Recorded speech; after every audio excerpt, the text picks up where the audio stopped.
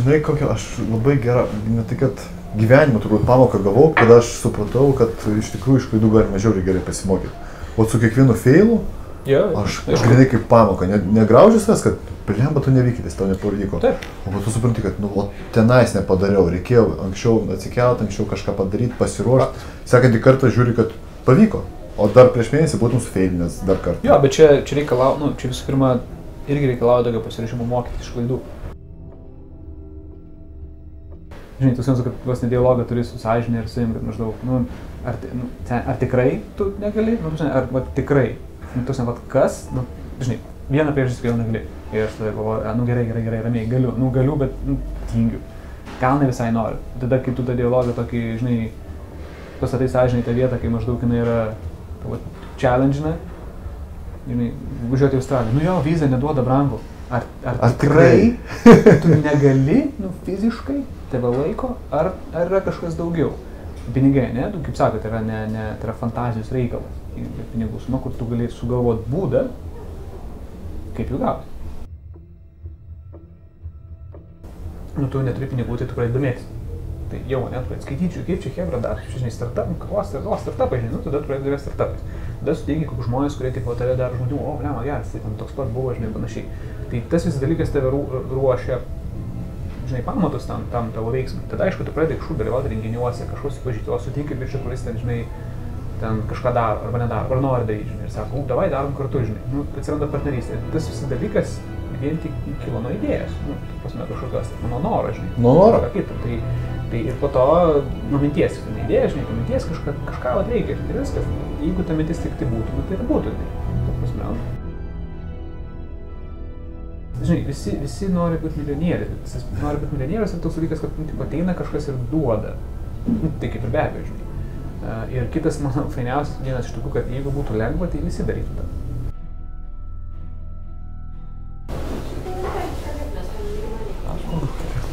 Dėl vietos tai jo, žinai, kaip ir sakiau, čia, nu, minimaliai kažkas matosi, bet aš tiesiog kitaip negaliu, nes, nu, toks parduotuvės išdėstymas. Iš pradžių buvo prie tos sienos, kelis padarė, bet tenais buvo Mhm. tarsi sušaudyta, žinai, siena ir aš nesivaizduoju, ką ten su ja darė, žinai. Tai specialiai visus baldus perkasti į tą pusę, tai va čia nais. Tu neįsivaizduoji, žinai. Tu pažįsti, žinai, kas yra ga- garis? Aš jo nepažįstu, bet aš žinau, kas yra. Nu. Bet, nu man jis jau, nu galbūt jau dabar iš undergroundo, sakykim, taip lenda ir kažkas jau bent jau pažįsta, žinai, Lietuvoje. Bet būna tokių atvejų, kai eina žmogus, grįžta porą žingsnių, pastovi, žinai, pasižiūri. Pra... Vakar, man atrodo vakar, ne? Priejo vienas bičias, nufotkino, ar mergaitė? Mergina atėjo, nufotkino, tak, tipo geras ir išėjo. Nu, matai, jisai... Jisai dabar tik gal daugiau reiškiasi, nes e, ir šiaip tas start, nu, startupų to pajudėjo. Tada automatiškai susidomėjimas tokiais kaip ten TechCrunch'as ir VentureBeat'as, kur daugiau apie rašo. Nu, ir kitais tokiais dalykais. E, Prieš tai nesidomėjau, jisai tą knygą parašęs įdomi ir daugiau speakeris, bet daugiau toksai žinomas nu, nu Amerikoje, žinai. Jau, bet jisai kaip paaugo, aš pradėjau juk žiūrėti praeitų metų pavasarį turbūt. Tai pas jį buvo, nu, pavyzdžiui, jeigu apie subscriberius kalbam. Jį buvo, tai ne, netgi man atrodo, iki 300 tūkstančių. Jisai per metus dabar Žinai. daugiau negu 500 tūkstančių. Nu, ta prasme, jisai labai paaugo. Ne, tai e, 300 tūkstančių, 300 tūkstančių nė- nėra mažas skaičius. Šiaip, Kokiu masteliu jo iš tikrųjų. Nu, be abejo, mastelis, bet tiesiog, žinai, tu pradedi ten su šimtu, ten su nuliu, tai, tai 300 tūkstančių yra pasiekimas, sakykime, bet nežinau, žinai, aš tai kažkaip, tiesiog, jis man toksai jo daugiau šnekėti, nu, ne, ne tai, kad šnekėtis, bet apie konfas, ten tas, anas, įkvėpimų, dar kažką, bet šiaip jo, nu, nu, jo, kaip sakyt, pateikimo būdas, žinai, man, man priimtinas, toksai, no bullshit, tipo, Jo, jo, jis iš tavo šano kaip ir Paprastai, tai, tai, nežinau, kol susimečiu, žinai, dabar labai daug tų platformų self-brandingų, žinai, daug, nu, ta prasme, tai, žinai, Snapchatas, Instagramas, visi gali būti, žinai, naudojamis. Self-brandingas, bet pats tai paties tinklapio, čia tavo normali, nu, čia tavo tikra pavardė, golfas. Jo, jo. Nu, vis vien, kur... Ne, tai man tai tai suveikia, dėl to ir pavyzdys, jeigu Lietuvoje veiktų, tai tikrai, nu, kokiu mastu tai užsienį veiktų. Nu, ta prasme, tai dėl to ir yra daug, kurių mes nežinom, žinai, tokių žmonių, kur nevadinsi underground, tai tiesiog, žinai, populiarus, ten turi, žinai, 20 tūkstančių subscriberių, bet ten žinomi kažkur tai ir iš to generuoja, ten nebūtinai žinoti ten visam Amerikoje, visam, visam Nu, pasaulyje, taip, žinai. Tu, žinai, tiesiog esi nišinis kažkoks tai, kuris ten... Ne mainstreamas. Jo, nu, tarsi, galbūt Kalifornijoje, galbūt New York'e, nu, realiai nesvarbu, žinai. Tai, tai jo, tai tas, tas, tas veikia iš tikrųjų. Tas veikia, bet, nu, aišku, ne visa veikla, bet aš, nors iš tikrųjų aš negalvoju, ar visa veikla gali būti pritaikyta, bet manau, social media nemažai, veik, nemažai profesijų, kurias gali, kur, kuriams gali, kuriams naudą išnaudoti galės savo brandingą. Dabar teisininkai, žinau, kur tu tipo lengviau, žinai, Facebookas, Twitteris, LinkedInas, žinai, tu gali būti kitoks, lengviau būti kitokiam, žinai. Kur anksčiau profesijos tokios buvo labai, na, žinai, teisininkas, nu, ta prasme, kon kontorai, žinai, Taip. nu, tu dirbi, ten, nežinau, nežinau, po to Ensternenk ar ten dar kažkam, a, nu, tai, tipo, rimtas. Rimtas. Bet e, jeigu tu ten negali, nu, negali dirbti, nenori ir tes nepriima, tai kaip tada tarp teisininkų, kur, žinai, e, kurio nori kažkokia tai grupė ar kurio ieško. Tai va čia ir gaunasi, aš galbūt ir pradėčiau nuo to, su kuo tu nori dirbti. Žinai, jeigu tu nori dirbti ten su kokiam nors, ten, žinai, viešom įstaigom, tai vienaip gali brandintis ir apie vieną kalbėti su startupais kitaip ir taip toliau, žinai, čia, čia, žinai, tada pasirenki, tada tu renkėsi tai platformą ir būdą, kaip tu išsiskirsi.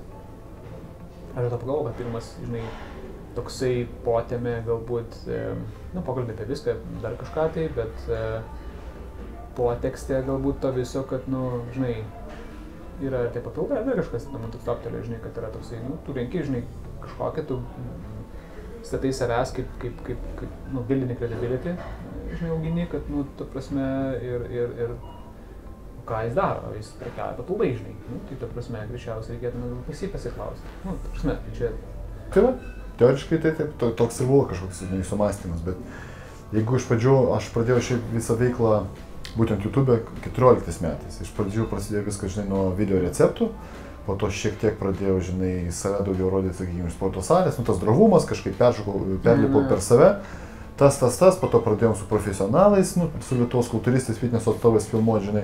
Ir supratau, kad kažkur per, per pusantrų metų mes padarėm, nu, galbūt ir ne tiek daug video, bet iš tikrųjų daug medžiagos ir ten, sakykime, video yra po 40 minučių ir daugiau, būna ir du video, sakykime, Mm. dvi dalis tik tai padalinta. Nu, informacijos labai daug buvo pateikta, žinai. Ir aš supratau, kad viską kaip ir papasakojom jau, jau nėra apie ką iš tikrųjų pasakoti, nes tą patį per tą patį, žinai, kaip kelt štangą, kaip valgyti ir ką valgyti, jau papasakota, jau atsibodo. Ir aš supratau, žinai, kad aš ir pats šiek tiek nuo sporto bandau atsiriboti, pradėjau savo verslą prieš, prieš metus, pradėjau bendrauti su, nu labai norėjau bendrauti su žmonėm, kaip tu pats sakei prieš tai, kad darėjai podkastus, kurie patys ant savęs dirba, ar kurie yra įdomus žmonės, kurie galbūt kažko galės padėti, kontaktais apsikeisti, vieni Mm. kitiems padėti ir taip toliau. Ir žinai, tas mąstymas, kada pradėjau galvoti, kad, blebot, labai noriu, kad tokių žmonių ratas atsirastų. Ir pamažu, pamažu, vienas, antras, trečias, ketvirtas ir bam, dabar, žinai, vat, pavyzdžiui, dabar podcastus aš, aš išleidžiu kiekvieną savaitę. Bet čia, pavyzdžiui, dabar vat, mes dabar su, su tavim filmuojam, dabar yra kovo 8, tai aš manau, kad šis podcastas pasirodys, jeigu pagal e- eilę viskas eis, tai maždaug balandžio tik tai vidury. mm. Tai va, žinai. ne, tai gerai, tai, tu, nu, labai kvėlas, bet darai ir darosi.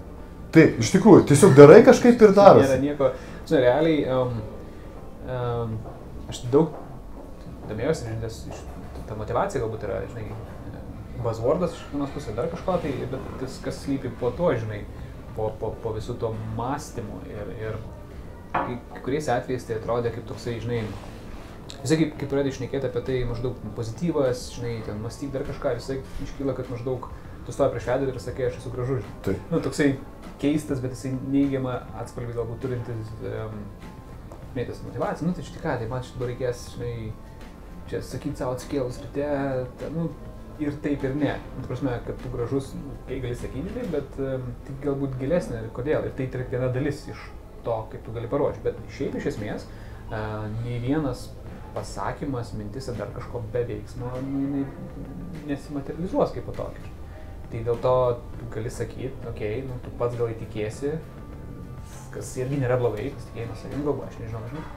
Bet jeigu nori kažką padaryti, jeigu nori pastatyti namą, na, jeigu tu kartos kasdieną, žinai, nori namą, nori namą, Navas taip pasistatys. Statys namas, tai tu turi kažką tai daryti, žinai, nu, tai tas daryti ir darosi, ir, nu, žinai, toks pusiau juokais frazė, bet, nu, taip yra, nu, toks, nu, turi kažką daryti, nu, ir, ir iš daug susiveda, jeigu, jeigu paimt, um, peržiūrėti citatas, žinai, e, daugumų tokių, va, tave motivacinių tikslų ir panašiai, tai jos visos bus paremtas kažkur e, vienoje ar kitoje vietoje paslėptas veiksmas, kaip, kaip E, net ir, net ir tas um, Einšteinas pasakė, kad, tipo, ten, žinai, tai daryti tą patį kiekvieną dieną ir tikėtis kito rezultato yra beprotybė. Ne, nu, tuo prasme, ir tai, a, prikoliniai skamba, žinai, bet tai yra tiesa. Tai yra tiesa, iš tikrųjų. Tiesiog, tu tu negali daryti, nu, tai yra fiziškai neįmanoma. Taip. Tiesiog.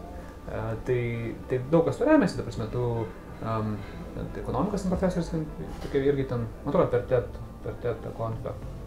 Tai vis sakė, sako, yra e, statistiškai kaip 10 procentų pradėjo atlyginimas JAV nu, kasmet. Taip. Tai yra žmonės, kur pakelia 100 procentų. Tai yra tai žmonės, kurie kasdieną daro kažką kitą, ne tą patį. Tu, nu, ir tu vėl grįžti prie to, aišku, nu, jeigu tu turi atsikeliai į darbą, žinai, grįžti, ten, nežinau, žiūri teleką, reiškia, paskaitai knygą, nu, tas pats tą patį, nu, tai be abejo, kad, žinai, tavo atlyginimas padidės tiek, kiek tai yra, nu, priklauso nuo kažko kito. Tu atiduodi tą kažkam kitam, tam įmoniai, žinai, Taip. įmonės sėkmės, ten, nežinau, jo, gali ten parduoti įmonę akcijos, pakilti visiems, žinai, pakels. Nu, okei, okay, tai tu, reiškia, atiduodi tą valdyti, žinai, savo, sakykime, finansinę kažkam kitam. Arba tu gali, žinai, taip, ten tūkstantį kartų, žinai, nepasisekti ar kažką, tai, bet tu kažką darysi, kažkur, kažkur kažką paskaitysi, kažką išgirsi.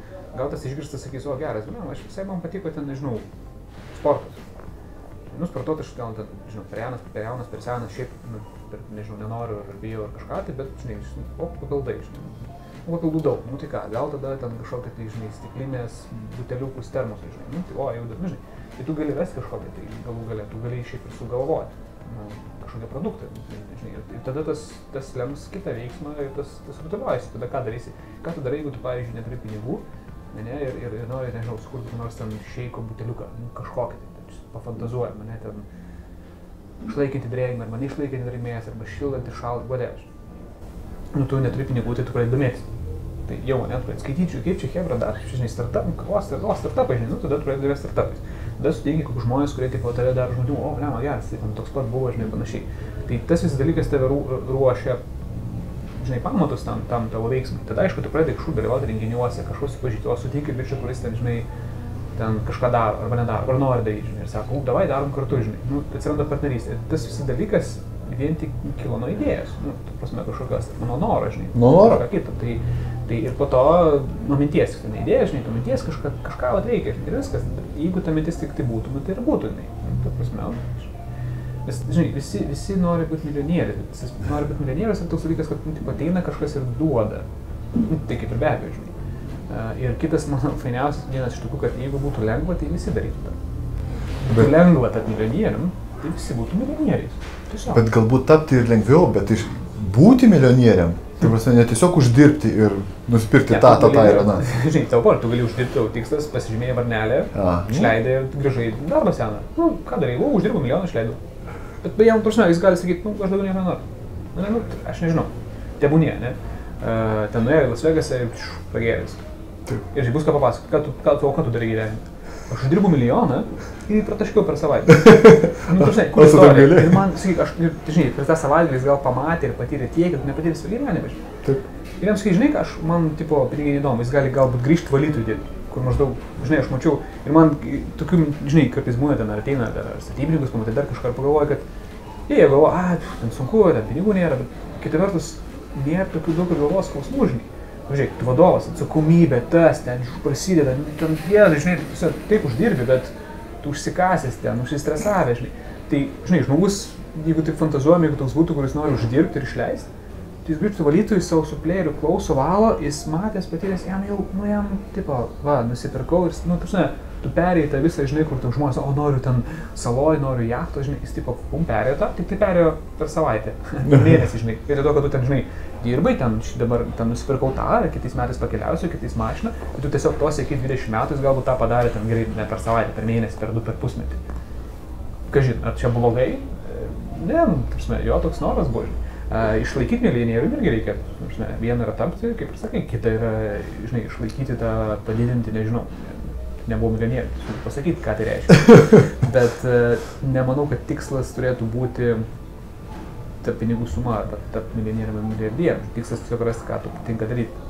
Na, daug milijonierium tap- galime tapti vienos valiutos arba kitos. Ir, irgi faktas ir plus aš manau, kad kai, kai kiek yra citatų apie tą, sakykim, turtą, aš manau, kad, aš nežinau, aš, bet aš taip manau, kad tai ne vien tik išaiškima kaip po pinigais, sakyčiau. Nu, ta prasme, tu gali kažką daryti, kol nesuneša ten tą į sąskaitą eurų, bet tu tampi kažko kito, tu darai ten pakeiti milijonus gyvenimų, žinai. Nu, Irgi milijonierius. Nu, ta prasme, jo, tai, tai, tai galbūt reikia giliau žvelgti, ir tas milijonas, ta prasme, taip, um, tam tikra pinigų suma keičia tavo gyvenimą, bet iki tam tikro lygio. Na, žinai, ten neturi mašinas, tai turi jau patogiau, žinai, ten dar kažką, ten sveikatos, kiek draudimai, e, nežinau, ten ateitis, vaikai, būstas, nu, tai yra, tai yra basic dalykai, ne pagal tą mąstau teoriją, nu, turiu patenkinti turi tos poreikius, kad pakilti kitą lygį. Dėl to aš manau, Lietuvoje yra taip sunku, nes nepatenkinami Pirmutiniai lygiai. vidutiniai poreikiai. Arba patenkinami labai sunkiai, dėl to žmonės yra išsitinami. Jeigu tas mes taip kilstiltume, tai mes kilstume ten, mano tokia nuomonė, aš žinau, čia tyrimai daryti, bet kilstume į kitos, kaip pavyzdžiui, Švedija, Norvegija, ten tas poreikis, bum, žinai, ir tu jau tam kitam, kitam tai tu tada, žinai, hmm, žinai, gyvūnų teisės, gamta, žinai, šaltiniai energijos, tada tu, žinai, biškelį kitaip mastai, nes tau, tipo, aš turiu namą, žinai, vaikai turi, rūpintis, taip. tau jau keičiasi, žinai, ir tas užtrunka, tai, žinai, jeigu mes, kaip Norvegija atrado tą naftą prieš 5 metų, mes dabar atrastume ten, žinai, aukso kasyklą, tai mes tą tik taip peršoktume, žinai, greitai, nu, tas būtų kultūriniai tokie šokas, kur ten, žinai, žmonės žinot, ką daryti ten taip toliau, bet kita karta jau būtų tokia, žinai, kur mokslas, ten aukštas lygis, medicina, žinai, ir, ir, ir tiesiog, žinai, e, mes peršoktume tą ir mūsų poreikiai taptų jau kitokie. Ir, ir tu pradėtum tada galvoti apie, žinai, atsinaujantį energiją, žinai, sveikatos, gyvūnų prieglaudos, nežinau, vaikų vaikai, ten benamiai, žodžiu, visą kitą. Nes tau, sakytum, man nereikia pinigų, snareliai. Tau nereikėtų galvoti ir ne visiems žmonėms norisi jachtų, žinai, tą aš manau. Nu, man, pažiūrėjau, rimtai aš nenorėčiau. Ne, aš man- Ne tas žmogus, aš ne jūros. Mašinų, man, trys mašinos, vienu, vienu, vienu metu nevažiuoju su trim mašinom. Kaip aš sakau, žinai. Nu, ta prasme, ir šiaip, tai yra toksai, bet, žinai, kažką, kažką pakeisti jau yra įdomu. Bet žiūrėk, čia nes tam, kad patenkinti, nu, sakykime, kad perėt prie kito lygio, reikėtų patenkinti pirmą poreikį. Tai maistui, e, Nu, jo, nu, kur gyveni, kad šilta būtų apsirengti, kur turėtum ir taip toliau. Bet būna, pavyzdžiui, menininkai, dainininkai, kompozitoriai, tai jie dažniausiai būna ir gyvena skurde, bet jie vis vien kūrė kažką. Jie... Nu, jo, čia, čia tik, tu žinai, ši mano teorija galbūt daugumai, netaikoma visiems. Be abejo, yra žmonės, kurie, tie, tie pat menininkai dažniausiai kažkodėl tai, bet gal pas jūs, žinai, kit, kit, kitus dalykus vertina. Aš, aš nežinau, žinai, iš sunku pasakyti, tik tai, nu, sakau, mano teorija, kur, kur aš manau, kad kadangi žmonės, žinai, mato, žinai, internetas tai mato, kaip kiti gyvena ir tu, nu, nori, nenori, tu matai, kad, lemba, mes čia, žinai, tikrai galėtume kažką daryti, tada, žinai, valdžia, tada, žinai, mokesčiai, nu, tik tokie dalykai. E, Ir jeigu tai mes šiek tiek tas kilstų, šiek tiek nereikėtų, žinai, tų minimum mažiau yra ir liudais gauti, ar ten, nu, realiai, žinai, yra žmonės, kur negauna. Um, ir tu maistą reikia taupyti ir panašiai, nu, visai turbūt žiauriai sunku. Ir jeigu tas biškelį pasikeistų, tai, tai manau tiesiog, nu, apie daugumą kalbu. Taip, menininkai, žinai, yra žmonės, kurie, žinai, ir, ir keliauja po pasaulį be nieko, be turtų. Čia, aš nežinau, žinai, galbūt tiesiog būdas. e, Aš manau, kada labai nori, kažkaip vertina. susiranda ir tų galimybių. Aš manau, kad taip, tai menininkai galbūt e, ne visai gal pastojus pajamos, bet gal jie, kadangi tai daro ilgai, gal įpratę prie tokio, žinai, gyvenimo būdo, e, jiems gal nereikia daug, nes, žinai, aš manyčiau, žinai, iš vienos pusės, jeigu jie menininkai, tai greičiausiai tai jų, kaip žinai, pašaukimas, prigimtis, tai ką jie daro labiausiai, tai reiškia, jie kaip ir nedirba. Bet yra žmonės, kurie galbūt, nu, kai ne menininkas, tai tu turi dirbti kažkur, tai ir tu kai turi dirbti, sakykime, tau nepatinka arba nedaug patinka, tai tas, tas piniginis faktorius ir tos piramidės principas, nu, jisai labiau veikia, nes tu galvo, blem, nu, aš čia dirbu, nu, ir ten neužtenka man ten, žinai, maistui, aš ten vos susimoku už būtą ar panašiai, tai tada va, tas ir gaunasi. Bet menininkas gal tiesiog rado, kas patinka ir jam tas tai galbūt apsikeitė tie poreikiai. Kažkur kažką užvalgys ir Jo, man prasme, tas, tai, žinai, visai yra išimčių už taisyklės ir ta piramidė, man atrodo, gan senokai daryta. Gal yra, žinai, aš, aš, aš tikrai nesimėjau, tiesiog man tai, man tai pasirodė, kad jeigu mes biškelį, žinai, tas mažiau žmonių arba galbūt vidurinė klasė būtų didesnė, galbūt mažiau, mažiau to, žinai, kažkaip nu, veiktų sistemos visos tos, žinai, sodra, mokesčiai, nežinau, ly- lygybė kažkokia, tai neįsivaizduoju, ne ekonomistai. Bet aš manau, kad menininkai, kuriem yra, kuriem tiesiog jis sugeba pagroti, padainuoti kažkur ir jam gerai. Ir jiems ok, jo. Jo, ir jam super, jis ten gyvena dėl to savaitgalio kažkokio, kur varys pagroti ir ten ar kažkokį, žinai, kaziuko mūgį, kur ten dar kažko jis suprekiauja. Ir, žinai, gal gyvena kur nors name, kur auginasi daug, žinai, nu, žinai, jam yra minimaliai reikia ir jam dėl to užtenka. Labai sunku sakyti, žinai. Kita vertus, na, neaišku, tie menininkai patenkinti, arba bent jau visi, žinai, gal irgi galvoja, bet ne, žinai, nu, ta prasme, nu, bet jie kitokie, aš manau, kad kitokie žmonės, nu, tas menas kažkaip priverčia matyti kitus dalykus, nu, turėti kitokias vertybės. Ne visiems, bet nes yra menininkai ir gerai uždirbantis. Negali sakyti, žinai, muzikantai, dainininkai, kiek tai menas, subjektyvu, žinai, bet, bet, bet yra, ne? Galų galėtų važi, gali važiuoti, žinai, ten tą pačią Europą, gatvės muzikantų būti ir kažko, nu, tasme, pasirinkimas saik yra. Aš dėl to ir sakau, kad kaltinti reikia save labiausiai. Aš manau, kad pasirinkimas, nu, karo situacijų, nu, kur ten tau, netgi tas, paėmus tas, kur bičias buvo, mm, kuris be kojų gimęs ir, Mm, Brangu. Vujčič. nu, jo.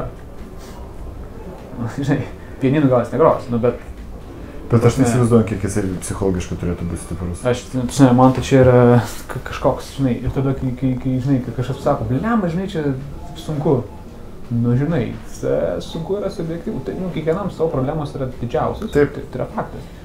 Bet sakyti, kad nėra pasirinkimo ar, ar, ar, ar kažką tokio, kai kitur, e, nežinau, žmonės sugeba tą pa, paversti pliusų, žinai, arba tiesiog ignoruoti. Aš neįsivaizduoju, žinau, kokios, kokios reikia, nu, Tai mąstymo pakeitimo, kai tu, žinai, gimiai neįgalus ir, ir apskritai kažką padarytų, nekalbant jisai, nu, tikrai daug daro, turiu minį, kad jisai žinomas, sakyčiau, pasaulyje. Taip. Tai, tai čia, aišku, jie vienetai, nu, žinai, yra daug neįgalių, bet, bet čia klausimas, žinai, aš nežinau, ar tokie buvo ty, nu, tyrimai ar kažkokie eksperimentai, kur pažiūrėti, kodėl matys galėjo, kiti ne, ar čia tiesiog tik taip psichologinis Aš taip manau, kad mąstymas kitoks ir Nu, viskas. aš, aš, aš pritarčiau tam, kad tarsi tai yra labai sunkus perslaužti ir, ir dėl to, nu, kadangi tai yra žiauriai sunku ir kad tas pasirinkimas yra toks sunkus, kad nu, tu tiesiog, ne, mažai, tu gali galbūt važiuoti ir daug žmonių, o tai gali išvažiuoti, bet jo, bet žinai, čia nesusirasiu, nemoku kalbos. Nu ir tada staikiai dirbi ten, nežinau, už 500 eurų. 600. Bet iš žmogaus atvista galima tą, žinai, pastebėti. Pavyzdžiui, ateina kažkas ir kal- sako, nu, blem, iš tikrųjų sunku, na, ir tu jam bandai pasiūlyti kažkokią išeitį. Ir jeigu jisai to nepriima, bet iš karto randa, kodėl ne, nu, tai iš karto jo, supranti, kad žmogus tiesiog nenori. Kas Nenori. nori? Dinktų, na, ir į Kaliforniją dinktų, nafik, ir į Kur gali, nu? belę kur, į Australiją išvažiuotų. Čia kaip yra, yra tas, nežinau kas pasakė, jeigu, um, jeigu, kažko, jeigu kažko nori, visai rasi galimybę, jeigu kažko nori, visai kas pasteisina. Tai, tai dėl to aš kažkaip į tą tikiu ir, ir visai irgi pagalvoju, kad, mm, ne, nu šitas tai tikriausiai jam pasisekė, bet kažko po to, po to kažkaip savo tyliai kamputė, nu ne, seniai, nu tu tingėjai. Taip, Nu, ta taip, taip. Reikia būti Nu, uh, nuoširdžiam pats. Ir aš sakau, ir aš jam atsakau, jo, aš tingėjau. Aš norėjau tiesiog pažiūrėti filmą tuo metu. Žinai, nu, ir, ir aš supratau, kad mažiau galbūt, ne tai kad pykstinti savęs, bet kaltinti, kai tu, žinai, tu suprantu, kad vos ne dialogą turi su sąžinė ir su jim, kad maždaug, nu, ar, nu, ar tikrai tu negali, nu, prasme, ar va, tikrai, nu, tu žinai, kas, nu, žinai, vieną priežastį kodėl negali. Ir aš tada galvoju, "A, nu gerai, gerai, gerai, ramiai, galiu, nu galiu, bet nu, tingiu. Gal ne visai noriu. Tada, kai tu tą dialogą tokį, žinai, pasatai sąžinai tą vietą, kai maždaug jinai yra tavo challenge, žinai, važiuoti į Australiją. Nu jo, vizą neduoda brangu. Ar, ar, Ar tikrai tu negali, nu fiziškai, tave laiko, ar, ar yra kažkas daugiau? Pinigai, ne, tu kaip sakote, tai yra, ne, ne, tai yra fantazijos reikalas. Pinigų suma, kur tu gali sugalvoti būdą, kaip jų gauti. Teisingai, tai yra meno gal netgi dalis, finansinis, kad atrodo tokie, žinai, tikslieji. Tai yra tiesiog sugalvojimas būdo, kaip gauti, kaip prasimanyti pinigų. Ir, ir, ir man toksai buvo irgi, žiūrėjau, ha, įdomiai. Nu, jo, ja, tu turi sugalvoti, kažkas fantazuoti kažkaip, kaip, kaip tu gali prasimanyti kažkokią sumą. Dėl to ir, dėl to ir, vat, kai tu pagauni save šitose vietose, ne, kažkur tai, kur tu, žinai, nu, o, ne, nu, žinai, ne, nu ten, nes ten kažkas tai, ne, X, Y, ne, ten, skauda, sunku, užkaršta, šalta, neturiu, Aha, tai aha. kažkaip čia vis tiek, žinai, nu, tai, tai yra pasteisinti. Ir, i- i- jeigu, klausimas kaip, kaip pat pagauti, aš nežinau, tiesiog. Bet aš netgi sakyčiau, galbūt tai nėra sąžinė, tai labiau galbūt blaivus protas. Tu vadink kaip nori, slaptas draugas. Nu, žinai, tai va. ne, Angelas, nesvarbu, esmė tame, kad nu, ta mintis, kur, kur tu sugebi galbūt save taip pažiūrėti iš kitos pusės. Nu, ir tada prisipažinti yra sunku, žinai. Nu, tarsi, prisipažinti, kad tu tingėjai, ne? Sunku. Tai yra sunku. Nu, nes, tu, bet ką pasakys pasiteisimas, nu, pirmas tai bus kiti, nu, kiti žmonės arba kitas aplinkybės. Visą laiką. Nu, tai yra žmogaus prigimtis. Nu. O, žinok, buvo kamštis. Tai tarp 5-6 nekamštis. Tai jis tik šiandien būna ar kiekvieną dieną? Nes jeigu kiekvieną dieną, tai kaip ir žinojai. Nu, žinojau. Jeigu žinojai, tai galėjai iš anksčiau išvaryti. Nu, nes išvarai, nes, tipo, dar pasidėsiu, gal dar paskaityti, nu, taip prasme, ir save prigauni ir, ir toks, nu, jo, žinai. Nu, ta prasme, taip. Bet gal galėjai prieš prieš išvažiuotum ir, ir nuvažiuotum. Nu, jeigu vat norėtum, o žudbūt. Žinai, um, A, tu gali paskambinti ir prašyti, kad vėluosi. Taip. Nu, nes to ne visi daro, nes Facebook'e pasidėti, papaustinti gali iš bet kur. bet žinutę parašyti, kad vėluoji, nu, bet čia, žinai, čia, čia galbūt tokia išskirtinė atveju, nes žmonės paskambina ir parašo, viskas trakoja, bet ir kartais tikrai negali numatyti. Nu, būna, pavyzdžiui, būna susitikimų daug, ne, ir vienas kažkodėl užvėluoja, tai grandinė slenkasi Taip. visus kitus ir tu nu, nieko negali daryti. Arba kažkur, nu, kaip, vėlgi, tu gali tada kirst vienam susitikime kažkur tai ir sakyti, viskas aš išeinu. E, Bet kadangi daro kitas žmogus, tu negali nei vidurį sakinį, nei ką, tai tu turi labai stipriai balansuoti ir derinti, nu, kad jis būtų trumpesnis negu buvo numatyta. Ne? Tai, bet vėlgi, aš ką tai pasakiau, kad negali pakeisti, bet teoriškai tu gali. Tu gali sakyti, kad žiūrėk, ten vėlavo tas, aš atsiprašau, greit perinam, aš padirbėsiu namie namų darbų kažką tai. Ir, na, žinai, pabaigiam Skype, nes nu, kiti susitikimai vėluos. Tai kaip ir gali, tiesiog tu pasirinkit. Nes tai tada, tada, jo, nu, ir- ir čia va taip, jeigu sugebėtų dauguma bent jau paimti ir taip pat atrasti tą blaivų balsą, vadink kaip nori, tokį kritišką, kur perklaustų. Nu, vat, ar, vat, ar tikrai sės ir vat, tu pasakyk, paimti visus variantus per dieną uh, ir kur tu pasakai negaliu, arba sunku, arba dar kažką, tai ir, ir, ir ypač kai negaliu, ir tada perklaus, ar tikrai tu negali, vat, ta prasme, nu, tas, aš nežinau, kas tai, kad negaliu. Nu, Nebent fiziškai kažko Nu, pakelt fiziškai, ta kažkur prasme, tai pakelt svorį, negali. nubėgt. Ta prasme, nubėg, nu, ar bėg, gali maratoną bėgti? Ne, negaliu, Mm. nes aš padusiu. Nu, Taip. tiesiog. Ten, um, tai, tai fiziniai dalykai, uh, psichologiniai gali būti kai kurie, bet tai, manau, reikalauja tiesiog kažkokios treniruotės. Bet, nu, gali būti kažkokie ten, žinai, bet ir tai, čia toks labai, labai, labai, labai specifinės, manau, situacijos, kur tu gali sąžininkai pasakyti, aš negaliu. Visa kita lems, arba bus labai sunku. nu, tiesiog, ne? Geriausias atvejis, Arba mes, mes tiesiog nesusimastom rokai. Kai mes norim į tualetą, labai norim į tualetą. Nu, Ja, ja, ja. Niekas netrukdo absoliučiai. Jo, jo, Viską čia- padarysi. Mieste susirasi belen kokią kavinę, pasiprašysi arba tiesiog įbėgsi ir viskas. Prasme, labai greit peržengi per save. Labai greit peržengi. Drovumas kažkur iš... Ne, tu juk matai, krūmą ir galvoji, nu tai jeigu nespėsiu, tai tenai. Taip, ir, nu ir viskas. Bet tikslas pasiektas. Policija, sakysiu, Nu, nu, sorry. nu, prasme, arba į kelnes, Taip. arba čia nai. Bauda, gerai, išykit baudą, bet, nu, ta prasme, nu, aš nenorėjau į kelnes daryti. Tiesiog, nu, būtų labai nejauku ir, ir, ir vis tiek aš negalėčiau judėti normaliai, rautik ir... Taip. Tai žinai, tai, tai, tai teisingai, tai yra vienas iš tų palyginimų, kad tu jeigu, jeigu tą sugebėtum padaryti bet kur, kai, tu, nu, kai nori į tualetą, tai, tai, tai, tai lygiai taip pat viskas čia, negi tas yra ta gurų istorija, gal net žinai, ne, kur, Ne. kur, žinai, buvo įdomi. Mm, Tai vienas gurų kalbėjo konferenciją paskaitė, ten, žinai, apie ten tą visą sėkmę ir panašiai, ir vienas žmogus išgirdo ir sako, sako, žinai, aš noriu nu, būti sėkmingas, turtingas kaip tu, aš noriu gerai gyventi. Sako, okei, okay, ateik šeštą ryto į paplūdimį. Sakau, okei, okay. kitą dieną, kostiumą, pam, žinai, viską, pasiruošęs į paplūdimį atvarą, žinai, sėdi tas, tas guru, sako, tai tu nori būti sėkmingas, ne, turtingas. Sako, jo, labai noriu. Ok, einam, nu ir eina į vandenį, žinai. Tas taip, žinai, su, lemba jaučiu senis, negerai jam kažką, Na. žinai, nu bet, žinai, guru, ta prasme. Ok, nu įsilipo, žinai, batai sušlapo, viskas stovi, aš toliau einam.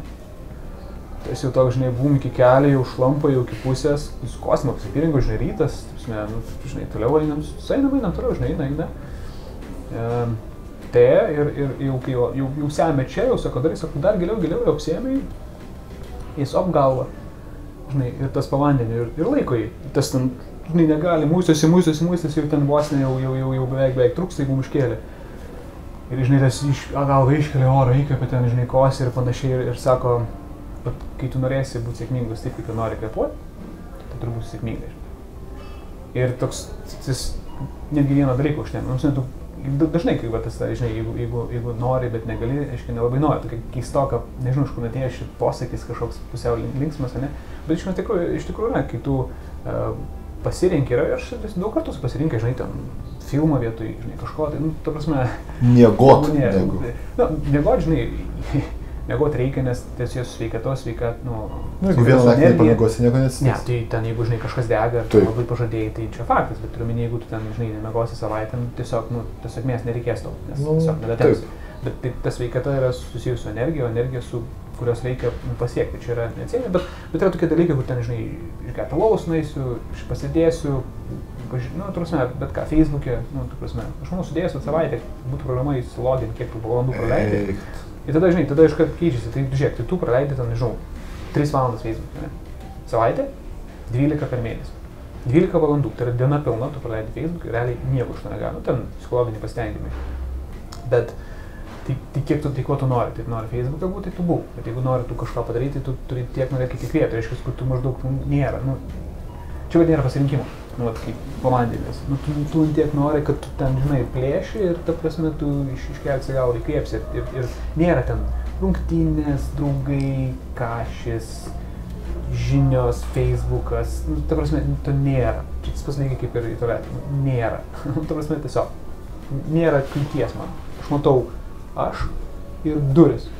Nieko nėra aplinkui. Tai, tai manau, tokio jausmo, vat, jūs pirma e, atrasti tokią veiklą, kaip nori, bet, bet tiesiog tas nu, nuėjimas iki to bus labai sunkus. Bet kai tu norėsi, jis nu, taps, taps labiau, žinai, reikiamas, nes tu tiesiog, žinai, norėsi tą pasiekti. Ir, ir dauguma tiesiog, nu, vat, kaip sakau, tą nori, žinai. Um, nori, nu, nes, nes jo, norė, norėčiau būti milijonieriumi. Taip, Norėčiau. tai- kas nenorėtų? Tai čia, kas atneštų milijoną, būtų gerai. ačiū, dėkui, žinai, čia va, viskas tvarkoj. Bet kad nueita kelią iki to, tai čia rimtas kelias, žinai. Tai, tai, tai. Dėl to ir sakau, žinai, kaip, nu, oi, net nelaimi loterijose nesąmonė. Bilietą perki? Ne. nu, Matomai gal dėl to, žinai. Greičiausiai nelaimi. Nes, žinai, aš kažkada čia buvo, dėl to dar kažką ten klausiu, tai kiek jūs, žinai, laimėjo ten, ten 10 štukų eurų ir kažkas tokio ten yra mašinai. Sakau, jo, aš savaitę po 50 bilietų.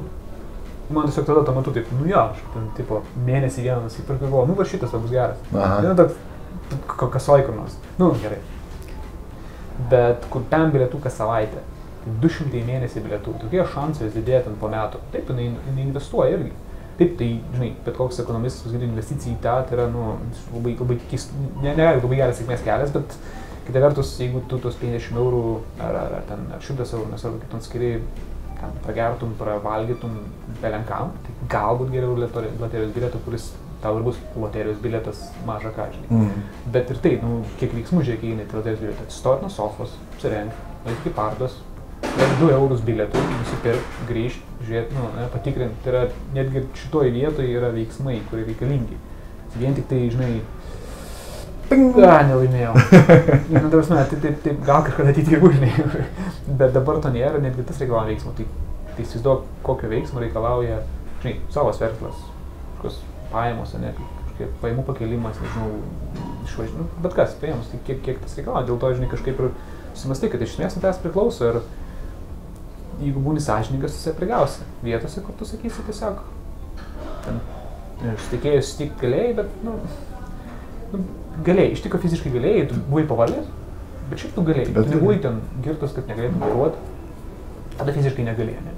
Bet ir tai, jeigu tu esi nesi toks girtas, kad kalbėtų, galėjai keisti taksoną. Čia, Tai- tai kaip tu, jeigu tu jau ten visai penktadienis ir tu pamiršai tą, o tu jau su draugais balevoji ir tu ten jau bijai, kad nesišnekėsi su klientu ar su tiekėju ir tu nemandagu, Nu, ir tu girtas, kaip tu- guli. Tai, bet jeigu tu prisimeni ir tu gali dar bendrauti, tu vis tiek turi galimybę ir tu, tu vis tiek turi šansą nuvažiuoti. Ir, nagi, taksoną, ne tik mašiną. O šiaip tai neturėtum pamiršti tokių irgi dalykų. Nu, čia toksai galbūt juokingas situacija, bet, bet jo, tai dėl to, kai, esi sąžininkas ir man- prigauni save tokiose vietose ir kai, kai tu tikrai su atsakai, nu jo, šiaip galėjau.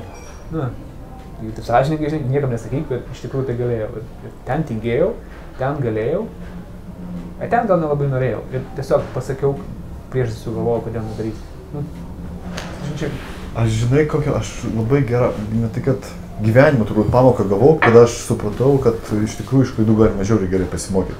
O su kiekvienu feilu jo, aš grinai kaip pamoką, ne, negraužiu savęs, kad blemba tu nevykytis, tau nepavyko. O to supranti, kad nu, o tenais nepadariau, reikėjo anksčiau atsikelt, anksčiau kažką padaryti, pasiruošti. Sekantį kartą žiūri, kad pavyko. O dar prieš mėnesį būtum sufeilinęs dar kartą. Jo, bet čia, čia reikalauja, nu, čia visų pirma, irgi reikalauja tokio pasirežimo mokytis iš klaidų.